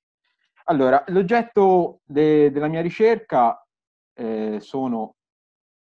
Mi sa che... Mi sa, ah, ok, no, avevo avuto un problema, scusate. Eh, l'oggetto della ricerca sono le mentalità e i comportamenti dei soldati italiani impegnati sul fronte italo-austriaco nei confronti del nemico. Ecco, è un tema quello dell'attitudine dei soldati nei confronti dei combattenti, ma anche nei modi di rappresentare eh, il nemico, quindi un approccio più di storia della mentalità, eh, che eh, ha avuto un ruolo importante nella storiografia sul primo conflitto mondiale, eh, che eh, ha diciamo, raccolto soprattutto interesse in ambito francese e anglosassone, eh, abbracciando vari filoni di ricerca che vanno dagli studi su, eh, culturali, di storia dell'intellettualità, eh, appunto più incentrati sulla propaganda o comunque su quelle rappresentazioni circolanti nell'opinione pubblica. Eh, ma anche negli studi sociali sull'esperienza bellica, in particolare eh, ho in mente i grandi eh, punti di riferimento sono Eric Lead e Tony Ashworth, che sono studi comunque risalenti a 40 anni fa, ma che eh, comunque ci dicono molto di, questi, eh, di, queste, insomma, di storia dell'esperienza, e infine eh, anche gli studi sulle testimonianze, eh, che appunto poi sono anche la fonte della mia eh, ricerca. Sicuramente un punto nodale di questo mio studio è stato il dibattito tra consenso e coercizione che si è avuto soprattutto in Francia e che ha visto opporsi da una parte gli storici del consenso, di solito identificati con eh, l'historial della Grande Guerre de Peron, e i storici del dissenso eh, de, del CRID, che appunto, eh, oltre a dividersi sul fatto, sul, sui motivi della tenuta degli eserciti, con i primi che portavano a fondamento il consenso e anche l'odio per il nemico, eh, e gli altri che eh, invece portavano avanti la coercizione, lo spirito di corpo, dando un ruolo marginale appunto a questioni come consenso e pro- propaganda, c'è stata una divisione tra questi due ambienti anche sul ruolo delle testimonianze, su questa fonte con i primi che hanno appunto lamentato questa dittatura delle testimonianze come fonte che avrebbe portato a sottostimare elementi come la violenza bellica, facendo prevalere nel, nella narrazione dell'esperienza dei soldati comunque un paradigma vittimario. E se si viene all'ambiente italiano, diciamo che questo tema delle rappresentazioni non ha un vero e proprio, è stato toccato in vari a studi eh, di ambito generale sull'esperienza bellica, per lo più risalente agli anni 90. Mentre, ehm, però appunto senza scavare a fondo il fenomeno, mentre eh, sono state studiate le rappresentazioni del nemico, però eh, anche qui con uno studio soprattutto di storia culturale, di storia dell'intellettualità, guardando meno ad esempio a proprio mh, ai mezzi della propaganda, i mezzi attra- attraverso cui mos- appunto diffondere questa immagine.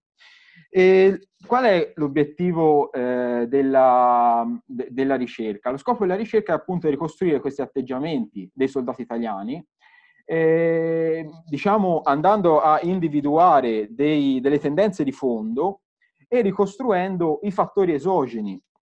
ovvero ehm, la campagna antitedesca e la propaganda, ma anche il contesto del fronte, le misure dei comandi, e quei fattori endogeni, eh, ovvero la posizione socioculturale dei testimoni considerati, le relazioni interpersonali, il ruolo rivestito eh, nelle istituzioni militari, che condizionarono appunto in qualche misura questi eh, testimoni indagati. Allora, eh, come è stata organizzata la tesi? Ora, a grandi linee ehm, la tesi si è divisa in sei capitoli eh, che affrontano, divise a loro volta su due sezioni. Il, devo dire che rispetto al paper che ho inviato sono passati dei mesi e quindi eh, ho sviluppato la ricerca e ho purtroppo, lavorando, ho fatto delle modifiche che qui comunque presento. Eh,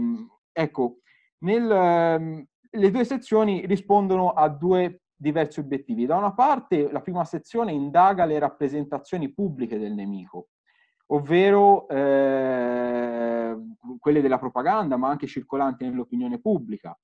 Ehm, perché eh, era mia intenzione comunque fornire un quadro completo delle rappresentazioni del nemico circolanti che in qualche modo i soldati che possono andare ad esaminare sono venuti a, a, in contatto.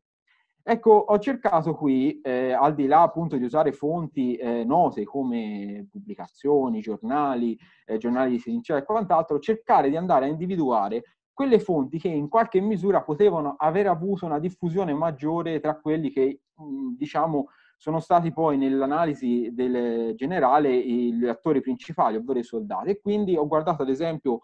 come eh, fonti, come ad esempio, eh, con particolare attenzione, fonti come le cartoline, eh, che, eh, circola- che appunto spesso diffuse gratuitamente circolavano di mano in mano, veicolando allo stesso tempo un messaggio. E quindi non solo la ricostruzione e la rappresentazione di questa immagine, di come evolve nel tempo, ma anche il mezzo che viene scelto per cercare di far arrivare la, da parte dei comandi, dei, soggetti produttori, che non sono sempre comandi, eh, i, eh, le informazioni appunto queste rappresentazioni ne, ne, negative dell'avversario dell'avversario. E, e, inoltre si è anche cercato di valutare la tiratura di questi materiali considerati per capire quali rappresentazioni poterono avere una diffusione maggiore, diffusione che però non corrisponde a una ricezione naturalmente. Eh, non è ovvio questa, c'è una conse- conseguenzialità ovvia, però per appunto capire meglio quali messaggi furono prescelti e come questi evol- ebbero un'evoluzione nel corso del conflitto. Ecco, il primo capitolo indaga l'ambiente del fronte interno e, e, le immagini diffuse dal discorso dominante. Questo è un primo concetto che è utile spiegare. Di solito nell'analisi sul primo conflitto mondiale viene utilizzato il concetto di cultura di guerra, che però è parso eh, troppo pervasivo, cioè già metteva comunque una condivisione da parte della maggioranza della popolazione o comunque delle elite, e allora è parso più corretto usare il termine utilizzato in ambito francese a, da parte naturalmente della storiografia francese, di discorso dominante, che permette da una parte di spiegare questa diffusione del discorso patriottico, però senza presupporre una sua interiorizzazione da parte della maggioranza della popolazione, mentre il termine propaganda è parso non eh, sufficiente, limitante, perché comunque eh, prevede comunque un messaggio eh, manipolatorio non sempre, eh, diciamo, n- non spontaneo comunque, quindi e da lì a, a, sono andato ad analizzare i vari messaggi dei soggetti produttori. L'allargamento al fronte interno si spiega da, col fatto che comunque i soldati, prima di essere militari, sono civili e quindi entrano in contatto, prima di entrare in istituzione militare, comunque con delle immagini e comunque quelle immagini continuano allora ad arrivargli tramite, ad esempio, le stesse cartoline oppure i giornali. Nella parte successiva sono andato a vedere la figura del nemico nella propaganda rivolta alle truppe e, e qui oltre a, analizzare i giornali di trincea o anche appunto sempre le direttive dei comandi, sono andato a vedere anche l'attività dei cappellani, delle case del soldato e dei teatri del fronte, ehm, perché sono appunto soggetti che hanno rivestito un ruolo cardine nel, ehm, nella diffusione di un'immagine del nemico nel, tra le truppe, comunque in generale nell'organizzare la propaganda. E quello che ho, diciamo, emerge a mio parere comunque è un'evoluzione sia degli argomenti sia un'evoluzione dei mezzi, cioè i mezzi evolvono perché ci si rende conto che no, e, e le immagini evolvono perché ci si rende conto che non sono abbastanza efficaci o comunque devono raggiungere una popolazione in larga parte illetterata. Quindi vi è un'evoluzione eh, continua nel corso della guerra che si arriverà, in sintesi, a comunque un'immagine molto più simile a quella che circola all'estero, molto basata su un concetto, eh, quello dell'atrocity eh, propaganda, ovvero le atrocità tedesche, spesso riprendendo proprio quelle, le atrocità avvenute nel Belgio, che vengono elette a emblema della malvagità germanica, oppure prendendo queste narrazioni e adattandole in maniera plastica all'ambiente eh, italiano. E da lì c'è anche un'evoluzione delle immagini, perché si arriverà a fine della guerra con una netta prevalenza di una propaganda per immagini alla portata appunto di una popolazione in larga parte illetterata e comunque più interessata a concetti appunto come la violenza, la difesa del focolare domestico, eh, rispetto a, ad, ad, altre questioni come possono essere state quelle del, diciamo, del, del, della liberazione delle cosiddette terre redente. Seconda, questa parte poi anticipa quella che è il cuore della tesi, che è la sezione dedicata a comportamenti e mentalità dei combattenti, che è costituita da quattro capitoli eh, eh, de, che eh, si basa appunto su un corpus di circa 150 testimonianze edite inedite. Quelle inedite selezionate appunto nell'archivio trentino eh, e nell'archivio diaristico nazionale di Pieve Santo Stefano eh, sono eh, testimoni dall'eterogenea estrazione socioculturale e relazionale e gli scritti selezionati scoprono una fascia temporale sufficientemente lunga a fornire un quadro dell'esperienza bellica e dell'evoluzione dei soggetti coinvolti. Ne sono state analizzate varie tipologie. Mi preme, al di là di queste, di alcune che sono spesso utilizzate, mi preme sottolineare l'uso delle fotografie ad uso, eh, fotografie private dei soldati sono una fonte molto utilizzata come testimonianza nella ricerca francese. Però è, nel caso italiano è una fonte molto problematica perché i soldati spesso non potevano, avevano grossi limiti all'uso delle macchine fotografiche e inoltre è un tipo di attività, quella della fotografia eh, elitaria, perché comunque le macchine hanno un costo. Tuttavia eh, sono una fonte estremamente interessante perché talora ci rivela, eh, ci dà conferma addirittura riscontri a fenomeni letti nelle testimonianze, eh, ma spesso in maniera piuttosto casuale, però ehm, insomma mi premeva sottolinearlo. Detto ciò, bisogna evidenziare le problematiche anche alla luce che quella, la, quella che è la polemica avvenuta in Francia che in qualche modo ha avuto un riflesso da noi perché comunque non sono mancati storici che eh, hanno teso a svalutare soprattutto le scritture popolari, quelle dei soldati semplici, spesso soldati illetterati, perché effettivamente sono scritture da cui non si può avere una sintesi generale, spesso sono estremamente soggettive ed è anche difficile trovare un filo, eh, spesso sono stratificate, i soldati scadono nell'incoerenza mentre raccontano la loro esperienza. E quindi sono delle fonti problematiche e se stesse sono di fatto un oggetto di analisi. Come ho cercato di intervenire per ammorbidire questi problemi? Allora, intanto, ehm, eh, appunto, ho, ho, cercato di eh, fare un'analisi prosopografica dei testimoni considerati, cioè la loro posizione socioculturale, ehm, le appartenenze nell'esercito, il ruolo e il grado ricoperto, si è via via ricostruito tutte quelle dinamiche che ne influenzarono gli atteggiamenti, come il contesto del fronte italiano, cambiamenti cronologici, particolari tornanti all'esperienza bellica. Insomma, queste testimonianze analizzate sono state prese come tante eh, scene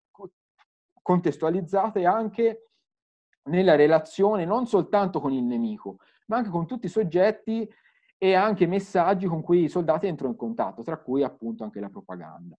Tuttavia, eh, diciamo che spinto, da, spinto appunto da queste problematiche che esistono e anche dalle critiche che ne sono state mosse nel tempo, ho cercato di variare le fonti e quindi le ho affiancate e integrate con eh, la documentazione del Regio Esercito e le sentenze dei tribunali militari. Perché? Perché questi, questi documenti a loro volta danno conferme e notizie aggiuntive a cose lette nelle testimonianze o comunque a cose di contesto, a comportamenti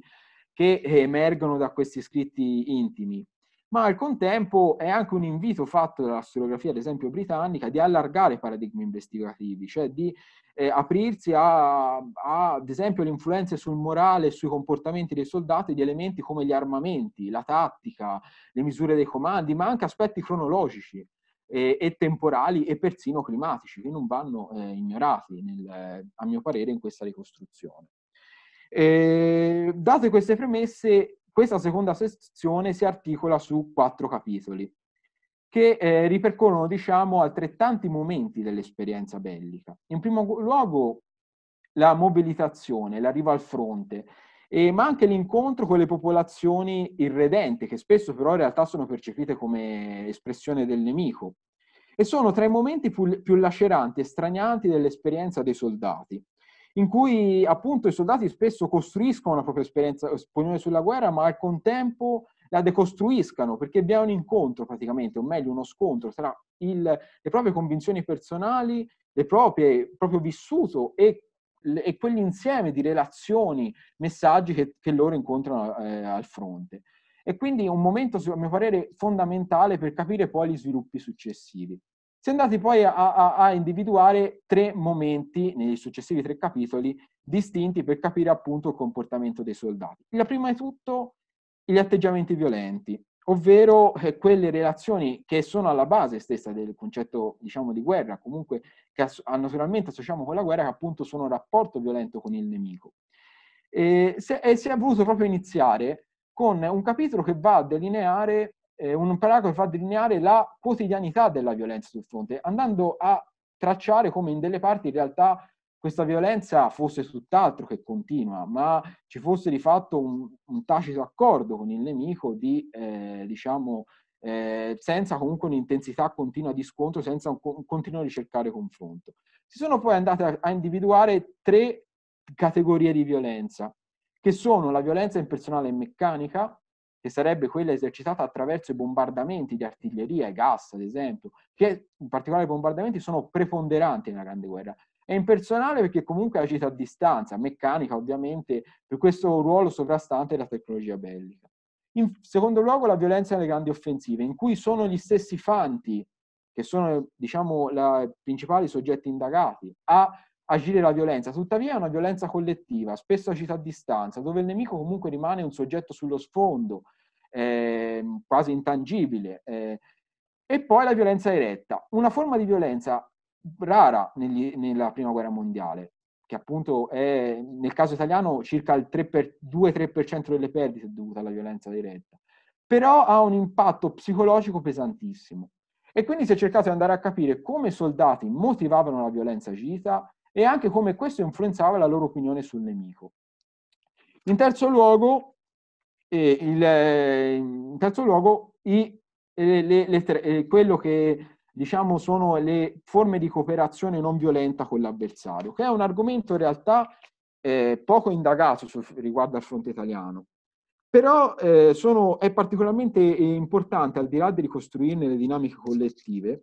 e, e anche eh, analizzare quelle che sono le dinamiche interne alle unità elementali, cioè tipo le compagnie al fronte, cioè ovvero il rapporto tra ufficiale inferiore e soldati che per portare a sospendere collettivamente, non è una scelta individuale, ma collettiva le ostilità. E quindi si è cercato di indagare le motivazioni, si è andato a individuare quei soldati più propensi a, a, a, a eh, stringere tregue e quelli meno eh, inclini a farlo.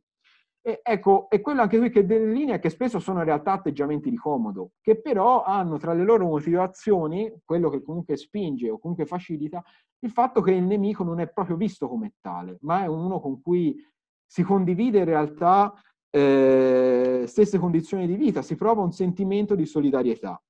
ehm, che appunto è un tratto mh, caratteristico che hanno notato in particolare in Francia gli storici più afferenti al CRID, eh, riguardo appunto all'esperienza francese. E, e, anche andando ad analizzare comunque una particolare tipo di fraternizzazione che avviene sul fronte italiano e in realtà è stato oggetto di uno studio internazionale di Mark Cornwell che non è stato recepito in Italia,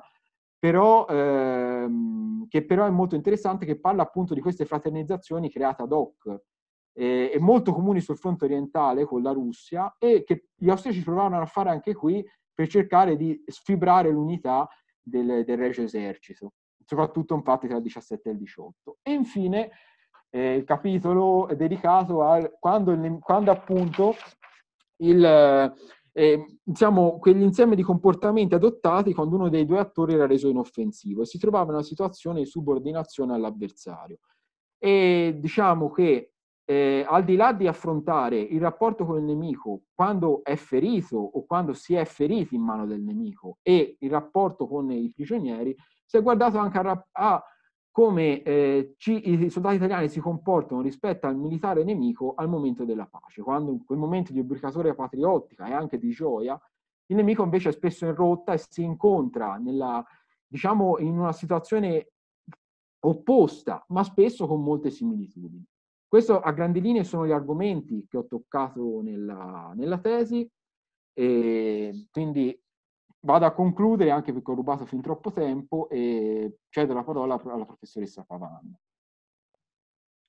Grazie Francesco, no, non hai rubato assolutamente nulla, eri perfettamente nei tempi che ci eravamo dati e quindi io rivol- giro immediatamente invece la parola al tuo discussant, al professor Simon Levi Sullam. Grazie. Allora, eh, ovviamente, eh, premessa fondamentale, eh, io non sono uno specialista di prima guerra mondiale, quindi i miei commenti, eh, le mie osservazioni saranno diverse da quelle che avrebbe potuto fare il collega eh, Mondini. va anche detto che eh, mi pare che la ricerca di Francesco Cutolo si collochi in un contesto nazionale e internazionale di studi molto più consolidato, rispetto a quello, ad esempio, della precedente ricerca abbiamo, di cui abbiamo ascoltato e discusso. Eh, e io appunto mi compiaccio per l'articolazione delle fonti, dei, te, delle, dei, temi e delle problematiche a cui eh, il dottor Cutolo ci ha introdotto, eh, devo dire che ovviamente queste sono anche il frutto eh, di una uh, straordinaria fioritura stereografica che negli ultimi 30 eh, anni ha eh, molto articolato, complicato e reso sempre più sofisticata la nostra capacità di interpretare eh, quella esperienza eh, catastrofica e straordinaria che è stata la, la prima guerra mondiale, tant'è che eh, Cutolo stesso fa riferimento su ogni tema all'incirca a diverse scuole storiografiche che si sono confrontate su questi complicati temi, ma è chiaro che ehm, mi pare che eh, Cutolo ci abbia anche proposto diciamo, delle, eh, delle falle e delle, delle, diciamo, dei punti di, di, osservazione e di penetrazione eh, più originali che lui sta cercando in questo eh, ampio materiale insieme di problematiche che hanno probabilmente a che fare innanzitutto con questo nucleo consistente di fonti che lui ha esaminato di tipo diaristico epistolare eh, che eh, ogni volta, eh, come per le fonti più ricche, possono rivelare eh, a partire da domande nuove o sensibilità nuove delle risposte eh, in parte nuove. Ehm, ho una serie di osservazioni e devo dire che non mi è del tutto chiaro, anche se si è chiarito parzialmente dal riferimento alle cartoline e, al, e con il PowerPoint, se quando eh, Francesco si riferisce all'immagine del nemico eh, si riferisca anche esplicitamente, come mi pare, a una rappresentazione iconografica del nemico, eh, perché ci può essere un'immagine di tipo com, retorico, come nei diari eh, o nella corrispondenza, e c'è ovviamente una, un'immagine propriamente iconografica e chiaramente queste tipo di immagini richiedono degli strumenti e delle analisi eh, molto, se non in alcuni casi completamente diverse e questo non era molto chiaro anche, devo dire, nella sua presentazione. Ehm, ho, provato, ehm, ho trovato utile, ehm, diciamo, tentativo di uscire eh, dalla eh, nozione di cultura di guerra, che è stata ed è ancora in parte una nozione molto fruttuosa nella storiografia sulla Grande Guerra. Eh, sono d'accordo che può essere, diciamo, un, in parte un letto di propuste o può presentare dei limiti, eh, soprattutto perché presuppone questa nozione di cultura eh, un sistema di pensiero e un immaginario fortemente e ordinatamente strutturato, cosa che non necessariamente è.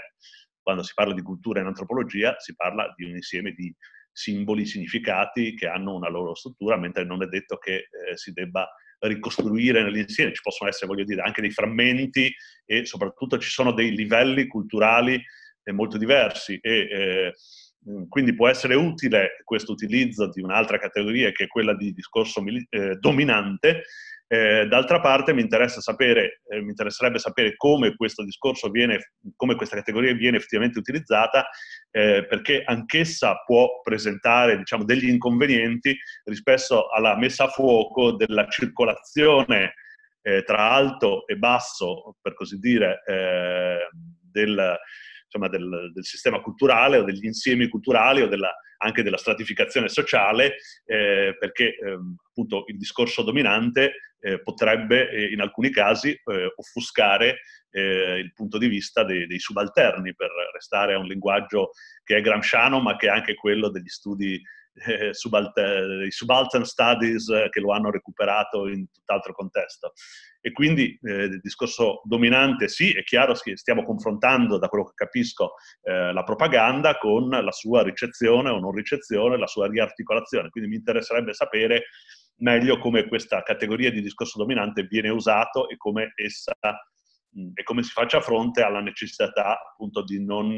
ehm, eh, di non offuscare eh, una molteplicità di, una stratificazione di punti di vista. Um, un altro tema interessante è questo più generale del nemico. Um, devo dire che um, anche per i miei interessi che si sono concentrati prevalentemente sulla seconda guerra mondiale, anche se non eh, come fronte di guerra, ma più sulla questione, diciamo, eh, degli Holocaust Studies, ehm, in generale eh, il problema diciamo, dei fascismi, eh, credo che sarebbe utile e interessante capire quanto eh, la riflessione che tutto sommato eh, lo stesso Mosse propone, che è quella della eh, barbarizzazione del nemico e del, ehm, possa essere studiata e debba essere studiata anche a partire dalla conclusione, dagli sviluppi post Prima Guerra Mondiale di questi processi. Voglio dire, che cosa poi eh, succede del nemico uh, che si costruisce nella prima guerra mondiale, in che rapporto dei nemici, in che rapporto sta quell'immagine del nemico con uh, il nemico politico uh, della guerra civile europea, per citare attraverso o Ernest Nolte, che si diffonde a livello europeo in tutte le direzioni politiche, ma che per molti aspetti nasce anche nelle trincee, e quindi quanto gli studi sul nemico politico, eh, Mosse del resto che lei cita, eh, ci spinge proprio in quella direzione, la sua eh, riflessione va in quel senso. Ma ce ne sono molte altre, penso agli studi mh, controversi ma affascinanti di eh, Tevelite sulle male fantasies, sull'immaginario anche diciamo erotico e di genere eh, maschile eh, che si riferisce per lo più alla, diciamo, alla, alla guerra civile post prima guerra mondiale, eh, quindi Freikorps e eh, via dicendo, nel contesto tedesco, quanto quelle letture di taglio anche psicanalitico ci possono dire eh, proiettate all'indietro eh, di questo momento formativo eh, eh, dell'immaginario attorno al nemico.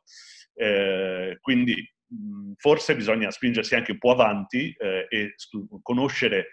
la storiografia, gli studi sulle immagini del nemico tra fascismi e seconda guerra mondiale, in Shoah inclusa, per eh, capire meglio che cosa eh, avviene nella, nella, prima guerra mondiale. E d'altra parte eh, può essere utile eh, tornare anche indietro. Mi è capitato di eh, occuparmi in un breve lavoro eh, vari anni fa eh, del fatto che eh, l'immagine eh, generalmente associata a Papini del caldo bagno di sangue nero eh, risulta eh, che di, di, solito viene appunto colta nelle pagine di Lacerba o delle riviste studiate da, da Isnenghi nel mito della Grande Guerra, in realtà risale all'età liberale, a De Zerbi, agli anni 80 dell'Ottocento, e quindi una parte del linguaggio della guerra, attorno alla guerra, si forma già in età liberale e quindi può essere interessante eh, anche questo chiedersi eh, eh, nasce tutto lì o, o, c'è anche un prima. Eh, vado rapidamente verso la conclusione. Ehm, un punto, uno snodo molto interessante per analizzare mh, mm, questa eh, questione che lei pone eh, può essere il, quel luogo supremo della Grande Guerra che è Caporetto, eh, perché eh, anche, torno a citare Snenghi, non tanto per i suoi studi più antichi, ma eh, il suo lavoro più recente su Caporetto, che studia Caporetto dal punto di vista delle fonti tedesche, eh, ci porta a incrociare eh, in quello snodo straordinario che è Caporetto il problema dei, dei punti di vista in modo a volte molto spiazzante. Eh, per alcuni di questi ufficiali tedeschi è una sorta di viaggio in Italia da goethiano, eh, Caporetto, che noi viviamo come una, uh, una, tragedia. Quindi c'è addirittura un orientalismo verso gli italiani, eccetera, eccetera. Eh, quindi mi chiedevo cosa lei fa di Caporetto, se ha un ruolo Caporetto questo, tra i suoi punti di osservazione. E poi ehm, ci sono le, le fonti letterarie che io non trascurerai mai, ma che del resto, voglio dire, anche Jay Winter nel suo libro ultimo, tra i più recenti, eh, War Beyond Words, eh, torna sulle fonti letterarie recuperando suoi lavori anche più... Ma insomma, a, a livello europeo, che cosa ci dicono rispetto alla costruzione del nemico eh, Barbus, eh, Junger, eh, via dicendo, eh, sono eh, ambiti che chiaramente sono stati arati eh, da studi che nascono con Fassel, eh, con Isnenghi, arrivano fino a Jay Winter e molti altri, ma io credo che eh, le fonti letterarie siano sempre uno straordinario punto di osservazione che epistemologicamente ci dice anche molto anche di, eh, del mondo illetterato, perché io eh, non mi staccherò di dire, in modo anche se un po' convenzionale, che la storia degli intellettuali serve perché gli intellettuali eh, diciamo, hanno maggiore consapevolezza di tutta una serie di processi, cioè sono un punto di osservazione di cose che riguardano in realtà un mondo molto più articolato e complesso, senza ovviamente voler schiacciare tutti i punti di vista su quello dei letterati e degli intellettuali, però sono chiaramente un varco testuale eh, e anche direi fenomenologico eh, per tutto un insieme di processi. Mi fermo qui. Grazie e lascerei immediatamente quindi la parola a Francesco per poi aprirla ad altre eventuali domande. Prego Francesco. Eh, allora, no, ringrazio per le utilissime osservazioni e spunti. Eh, voglio partire proprio dall'ultima questione. Ora, ne, nella presentazione mi è sfuggito, eh, però in realtà io ho cercato di usare questa categorizzazione tra ufficiali e uomini della truppa. Quindi in realtà le fonti letterarie Anch'io sono perfettamente d'accordo, cioè non si possono, anche se sono state battute e ribattute, eh, non si possono escludere anche perché in effetti spesso ci danno spunti sui comportamenti eh, altrettanto eh, interessanti. tra l'altro alcune di queste mm, memorie comunque a mio parere merita anche la pena di rileggerle, alla luce anche di quello che si legge negli, negli scritti popolari, perché in effetti eh, spesso insomma, si può trovare anche dei interessanti riscontri a loro volta su certe cose che osservano. E, ehm, e, poi soprattutto le ho considerate perché a mio parere quando si parla di dittatura della testimonianza è, è, una, è una, questione che nel caso delle, de, diciamo, dell'offuscamento eh, della violenza e dell'odio per il nemico si nota soprattutto nelle, mh, appunto nella letteratura degli ufficiali. Quella dei soldati della truppa appunto è stratificata, magari cinque pagine prima sono lì che eh, che insomma scaricano parole d'odio contro l'avversario, però poi magari le pagine dopo ci stanno facendo una fraternizzazione. E quindi è anche utile avere il quadro tutte e due per capire un po' questo confronto su, su questa discussione. Caporetto in realtà io l'ho considerato un tornante importante perché è lì che si vede l'emergere maggiore comunque nelle testimonianze di, scritti, di eh, parole d'odio verso il nemico. Spesso appunto sono soprattutto espressioni verbali, a quello che ho la percezione io, non hanno proprio una traduzione nel voglia ricercare lo scontro. L'obiettivo rimane sempre quello di salvare la pelle, eh, fondamentalmente, e magari sfuggire alla guerra, possibilmente. E poi Caporetto è interessante perché quello che ho avanzato con molta cautela è che in realtà è una zona dove di fatto esiste una tacita intesa con il nemico. Cioè, c'è, cioè è, probabilmente è una zona dove c'era una, una relazione stabilita tra avversari che potrebbe forse aver facilitato comunque eh, le, l'attività offensiva dei, de, degli austro-tedeschi. Mm, è un'ipotesi che comunque forse va approfondita in secondo luogo. Eh, riguardo alle immagini del nemico, eh, ecco, eh, diciamo che eh, in effetti una, un'altra cosa che non ho, non ho potuto diciamo, esprimere bene è che ho, ho anche guardato alla, a aspetti come il, come appunto eh, il, il, la barbarizzazione del nemico, come appunto ne ha parlato Mosse, eh, cercando di, di, guardare soprattutto l'ante più che il dopo, perché ehm,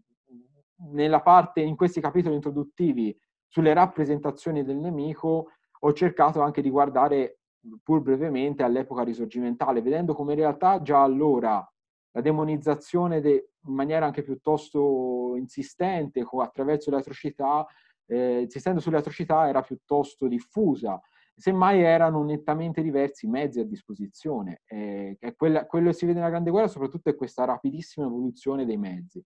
In realtà io ho, ho, mi sono dedicato soprattutto agli, alle, appunto, alle immagini iconografiche, perché credo che siano quelle più alla portata della, de, dei ceti popolari, però non ho escluso comunque elementi come eh, i discorsi alle truppe, ma anche mh, a certi articoli di giornale, in giornali ad ampia tiratura. Eh, anche lì ho fatto delle selezioni specifiche come insomma mh, giornali più comuni e, e, non ho comunque escluso anche un dibattito su, diciamo, sulla struttura, diciamo la macrostruttura, ovvero i, come possono essere appunto gli intellettuali o eh, proprio la politica, le, le, grandi famiglie politiche. E spesso quindi andando anche a analizzare proprio giornali che probabilmente ai titolari non arrivavano, ma non potevo escluderli che comunque tra le testimonianze mobilitate c'erano anche scriventi non popolari, ma come appunto ufficiali, colti o comunque volontari nazionalisti e quant'altro. Eh, sì, eh, beh, in effetti eh, il discorso, il tema del discorso dominante è, diciamo che è una, ehm, è una questione un po' complicata che io stesso ho delle, diciamo, prima di, diciamo, prim, da prima avevo, preferivo adattarmi su cultura di guerra, poi anche dalle, dal confrontarmi col professor Rousseau, con cui, ho, cui faccio riferimento per questa tesi, eh, ho diciamo più diciamo, preferito questa definizione anche se effettivamente eh, si rischia un, po', rischia un po' di dare l'idea che ci sia solo un piano e il sotto sia totalmente escluso da questo dibattito, quando in realtà eh, delle, diciamo, in qualche forma gli arriva, seppur eh, rielaborato, e, e, comunque loro stessi lo condividono e lo, e, e, e lo rielaborano, lo fanno proprio in molti casi. Cioè, non, non è assolutamente nell'analisi, nell'analisi che ho fatto emerge che comunque i soldati alcune di queste rappresentazioni le facevano proprie, pur adattandole, pur, e pur e, però quello che ho cercato di far vedere è che eh, l'adozione di queste rappresentazioni negative spesso non corrispondeva a un comportamento tale come eh, inviti a eh, massacrare il, eh, il, nemico, che in alcuni casi estremi si trovano nella propaganda, e non vi è spesso nelle testimonianze o comunque dall'analisi dei comportamenti che si ha anche da, da altre fonti, sono casi rari e succedono, ma sono comunque più sporadici, come in particolare si vede nel rapporto con il, il nemico prigioniero. Spero di aver detto più o meno tutto eh, di quello che era stato sollevato. Eh, comunque nel caso, eh, se mi sono dimenticato qualcosa, resto a disposizione. Grazie, in attesa che qualcuno sulla chat voglia fare ulteriori domande, curiosità osservazioni, ne faccio,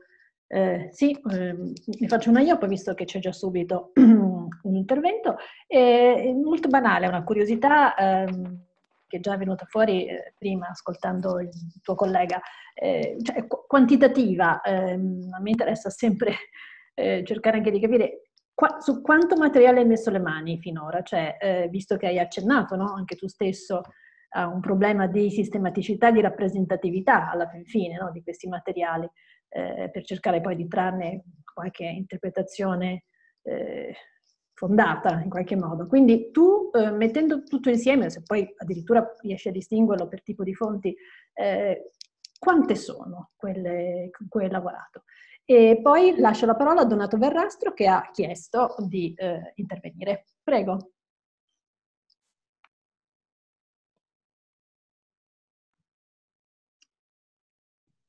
Intervengo Pre- io? Sì, prego. Ah, certo. Okay e buon pomeriggio a tutti. Um, sì, trovo questo, questo, lavoro di ricerca davvero molto interessante eh, perché si inserisce appunto negli interstizi di filoni di ricerca che, mh, come ricordava il collega Levi Sullan prima, eh, ha vissuto negli ultimi, negli ultimi anni insomma una, una una ripresa significativa anche a ridosso del centenario della Grande Guerra. Io volevo solo brevemente eh, aggiungere, e mi scuso se eh, dovessi ripetere cose già dette da altri, perché c'è stato un momento in cui ho avuto problemi con la linea e quindi ehm, ho avuto qualche difficoltà a seguire tutto per bene. Eh, volevo solo suggerire, non so se è già parte della sua, della sua ricerca e se quindi può essere utile ad ampliare in qualche modo anche la prospettiva di indagine, sempre eh, secondo quanto consigliato le, da, da Levi Sullan prima, eh, aggiungere tutta la comunicazione che viene dall'alto sul, a partire dal tema dei, del finanziamento della guerra, quindi mi riferisco ai prestiti nazionali,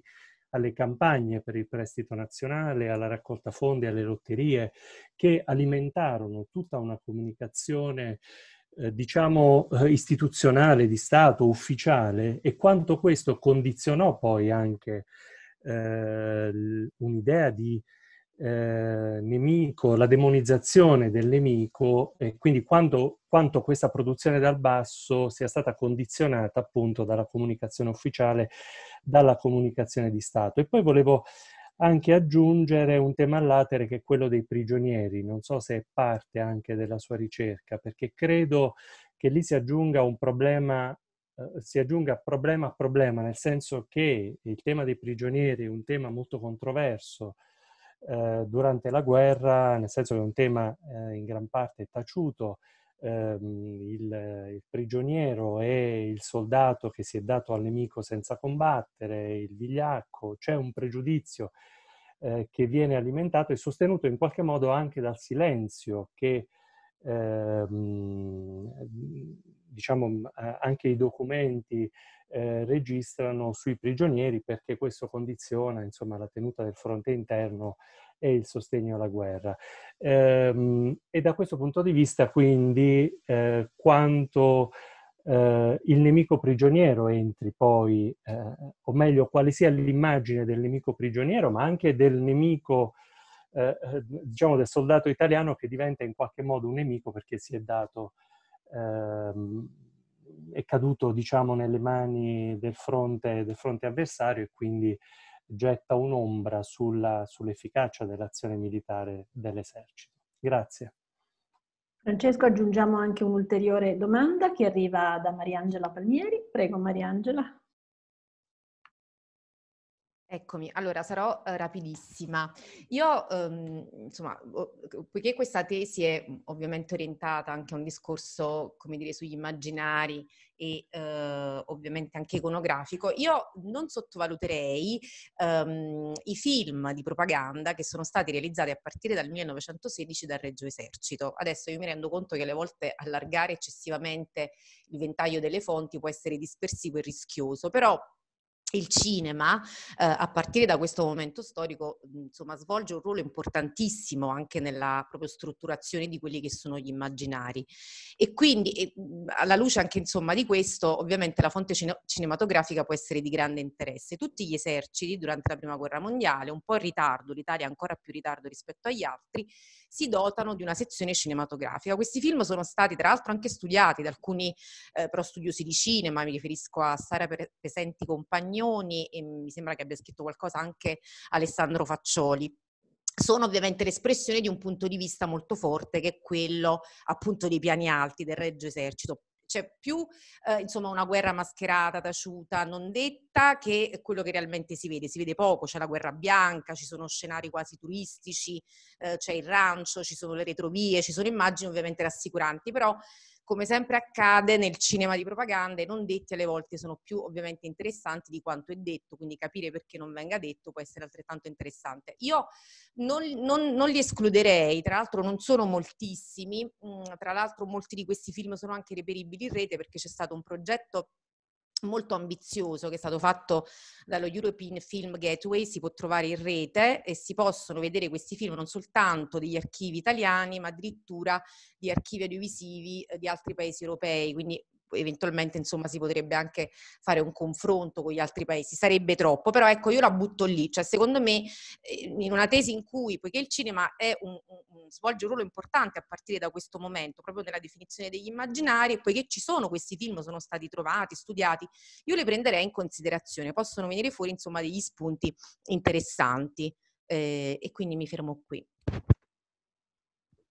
Grazie. Francesco, quindi torniamo te. Con... Allora, ehm, diciamo, inizio ehm, da lei professoressa, ehm, ecco, allora, eh, sul piano quantitativo eh, era proprio questo il problema, cioè le, le, testimonianze da sole non erano appunto sufficienti, quindi al di là di quel numero di testimonianze sono più di 150, poi ogni tanto tendo ad aggiungercele di nuove perché le magari mi capitano sotto mano, eh, alcune le ho anche raccolte non soltanto in quegli archivi ma anche da piccoli museini che ci sono a giro. Ehm, e, allora, c'è un'altra problematica, al di là delle fonti a propaganda che grazie al centenario io ho avuto la fortuna che comunque erano quasi tutti online e quindi ho potuto lavorarci senza problemi, eh, anche quando ho dovuto rifare degli affondi di sicurezza nel, nel corso dell'anno trascorso. Ehm, diverso è la questione per eh, quelle fonti dell'esercito eh, per, e, e, dei tribunali militari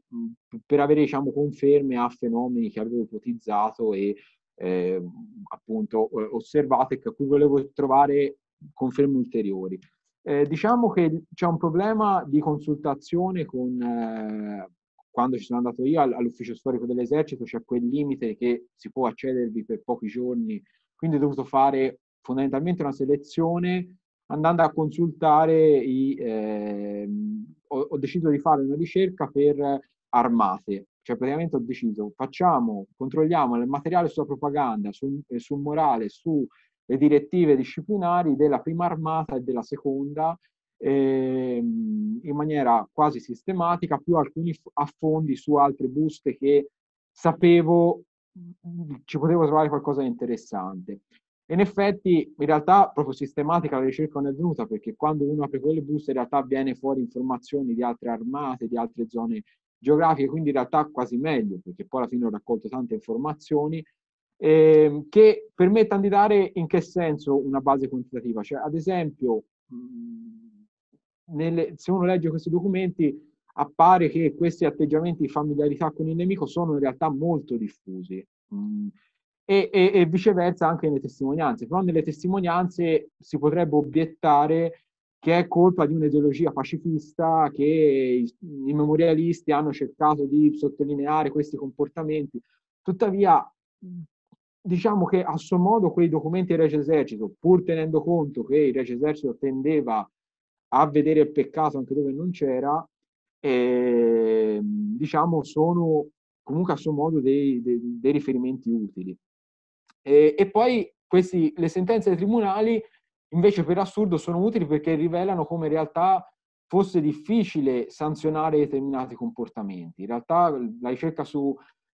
sui tribunali, anche questa è molto complicata, ho consultato i tribunali di guerra di eh, quattro corpi d'armata, in realtà un lavoro enorme che ha dato pochissimi risultati perché in realtà sono quasi tutte sentenze per diserzione, in larga parte automutilazione, e quindi quelle, diciamo, le cose che interessavano più a me non le ho cercate, quindi non le ho trovate, quindi a livello quantitativo c'era anche questo, eh, diciamo, questo problema, però ecco, alla fine sono riuscito comunque a avere tante informazioni da tante parti del fronte che ho cercato di collocarle nell'ambiente in cui i soldati operavano. Eh, cioè,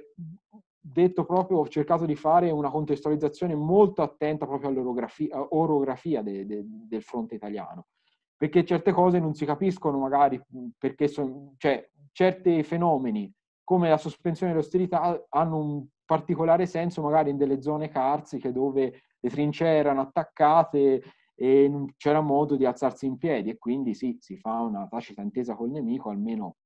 eh, si può magari consumare il pasto in, in, pace. Ecco, diciamo, ho cercato appunto di fare con attenzione questo lavoro e queste fonti sono state molto utili, anche poi per vedere come le sanzionavano i comandi. Il, ehm, allora, ehm, sì, eh, diciamo che per rispondere a, a, alla, anche alla seconda domanda del professor Verastro, ehm, ehm, ho, di fatto ho toccato il materiale relativo alla, ehm, alle campagne per il prestito e, e, perché appunto avevano una grande diffusione e comunque eh,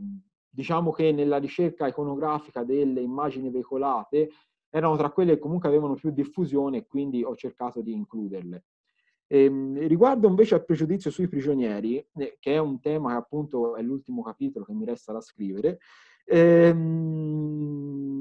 diciamo che c'è il pregiudizio in entrambi i casi. Nel primo caso verso i prigionieri austro-ungarici, perché l'accusa generalizzata che si vede in Italia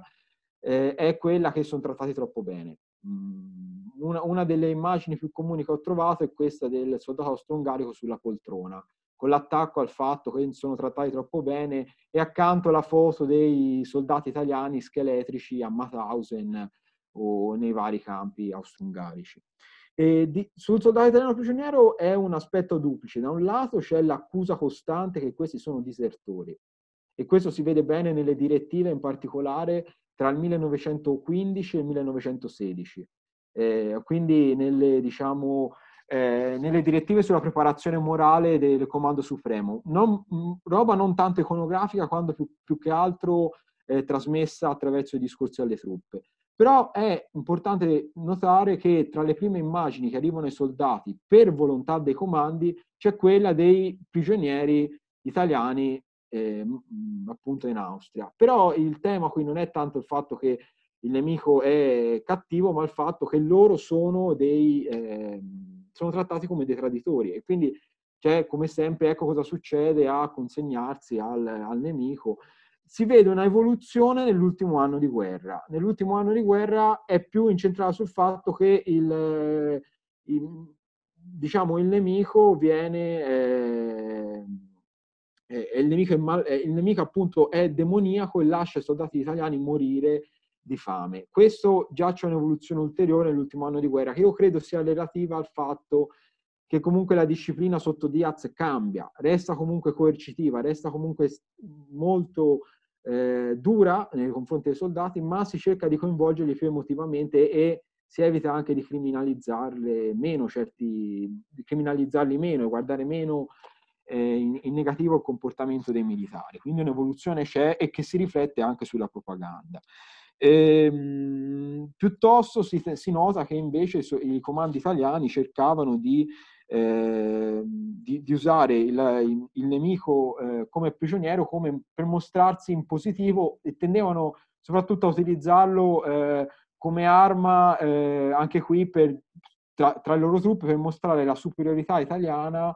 Eh, c'è sempre questa insistenza nelle direttive dei comandi sulla superiorità morale degli italiani, in particolare tra il, dal 15 al 17, e, e, appunto viene utilizzata come a dire noi trattiamo con umanità questi soldati e si vede soprattutto nelle foto del reparto cinematografico dell'esercito che sono sia interessanti perché a volte intercettano comportamenti che sembra, potrebbero quasi sembrare spontanei anche se il reparto cinematografico dell'esercito resta sempre il dubbio che sia in realtà propaganda e quasi sempre lo è.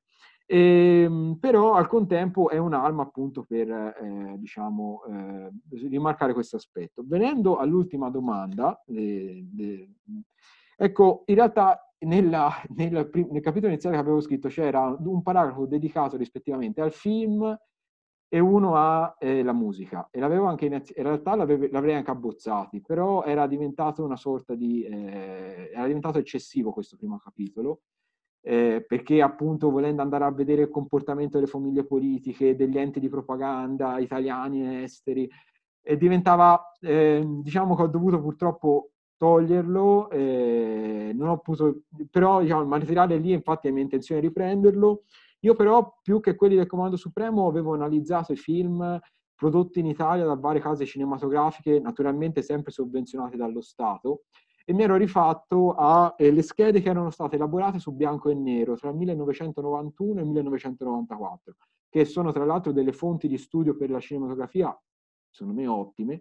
e, e, qui era andata a intercettare le immagini del nemico nella cinematografia tra il 1915 e il 16, perché già nel 17 il cinema ha un crollo verticale di, di diffusione, la gente non ne può più di film sulla guerra, ed è interessante vedere come in realtà il cinema vanno a affrontare temi eh, forse meriterebbe rimetterlo nella tesi a questo punto, eh, temi che poi in realtà nella grande propaganda cartacea iconografica non se ne parla, tipo ad esempio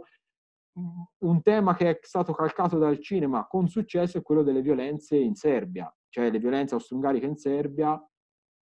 vengano approfondite, al di là di quelle, diciamo, tra virgolette, classiche del Belgio, che sono quelle più comuni in Italia,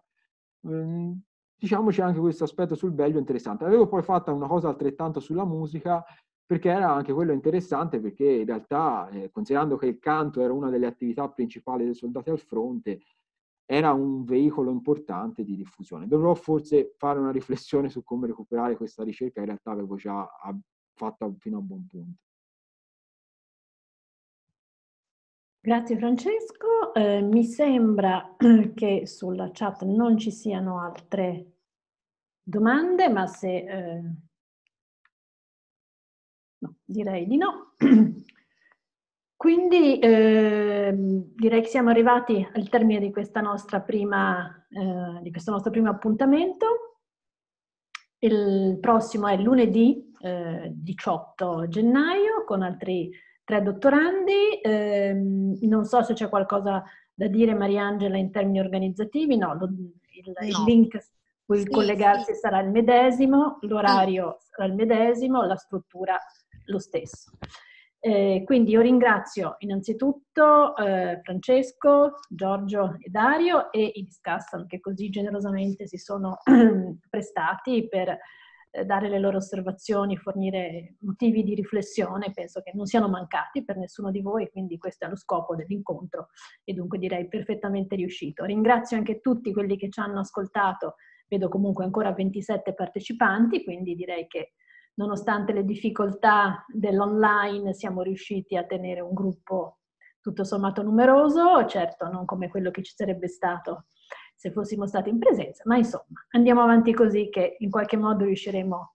lo stesso a fare il nostro lavoro. Grazie a tutti e ci vediamo quindi eh, lunedì prossimo con la seconda puntata di Storie in Corso.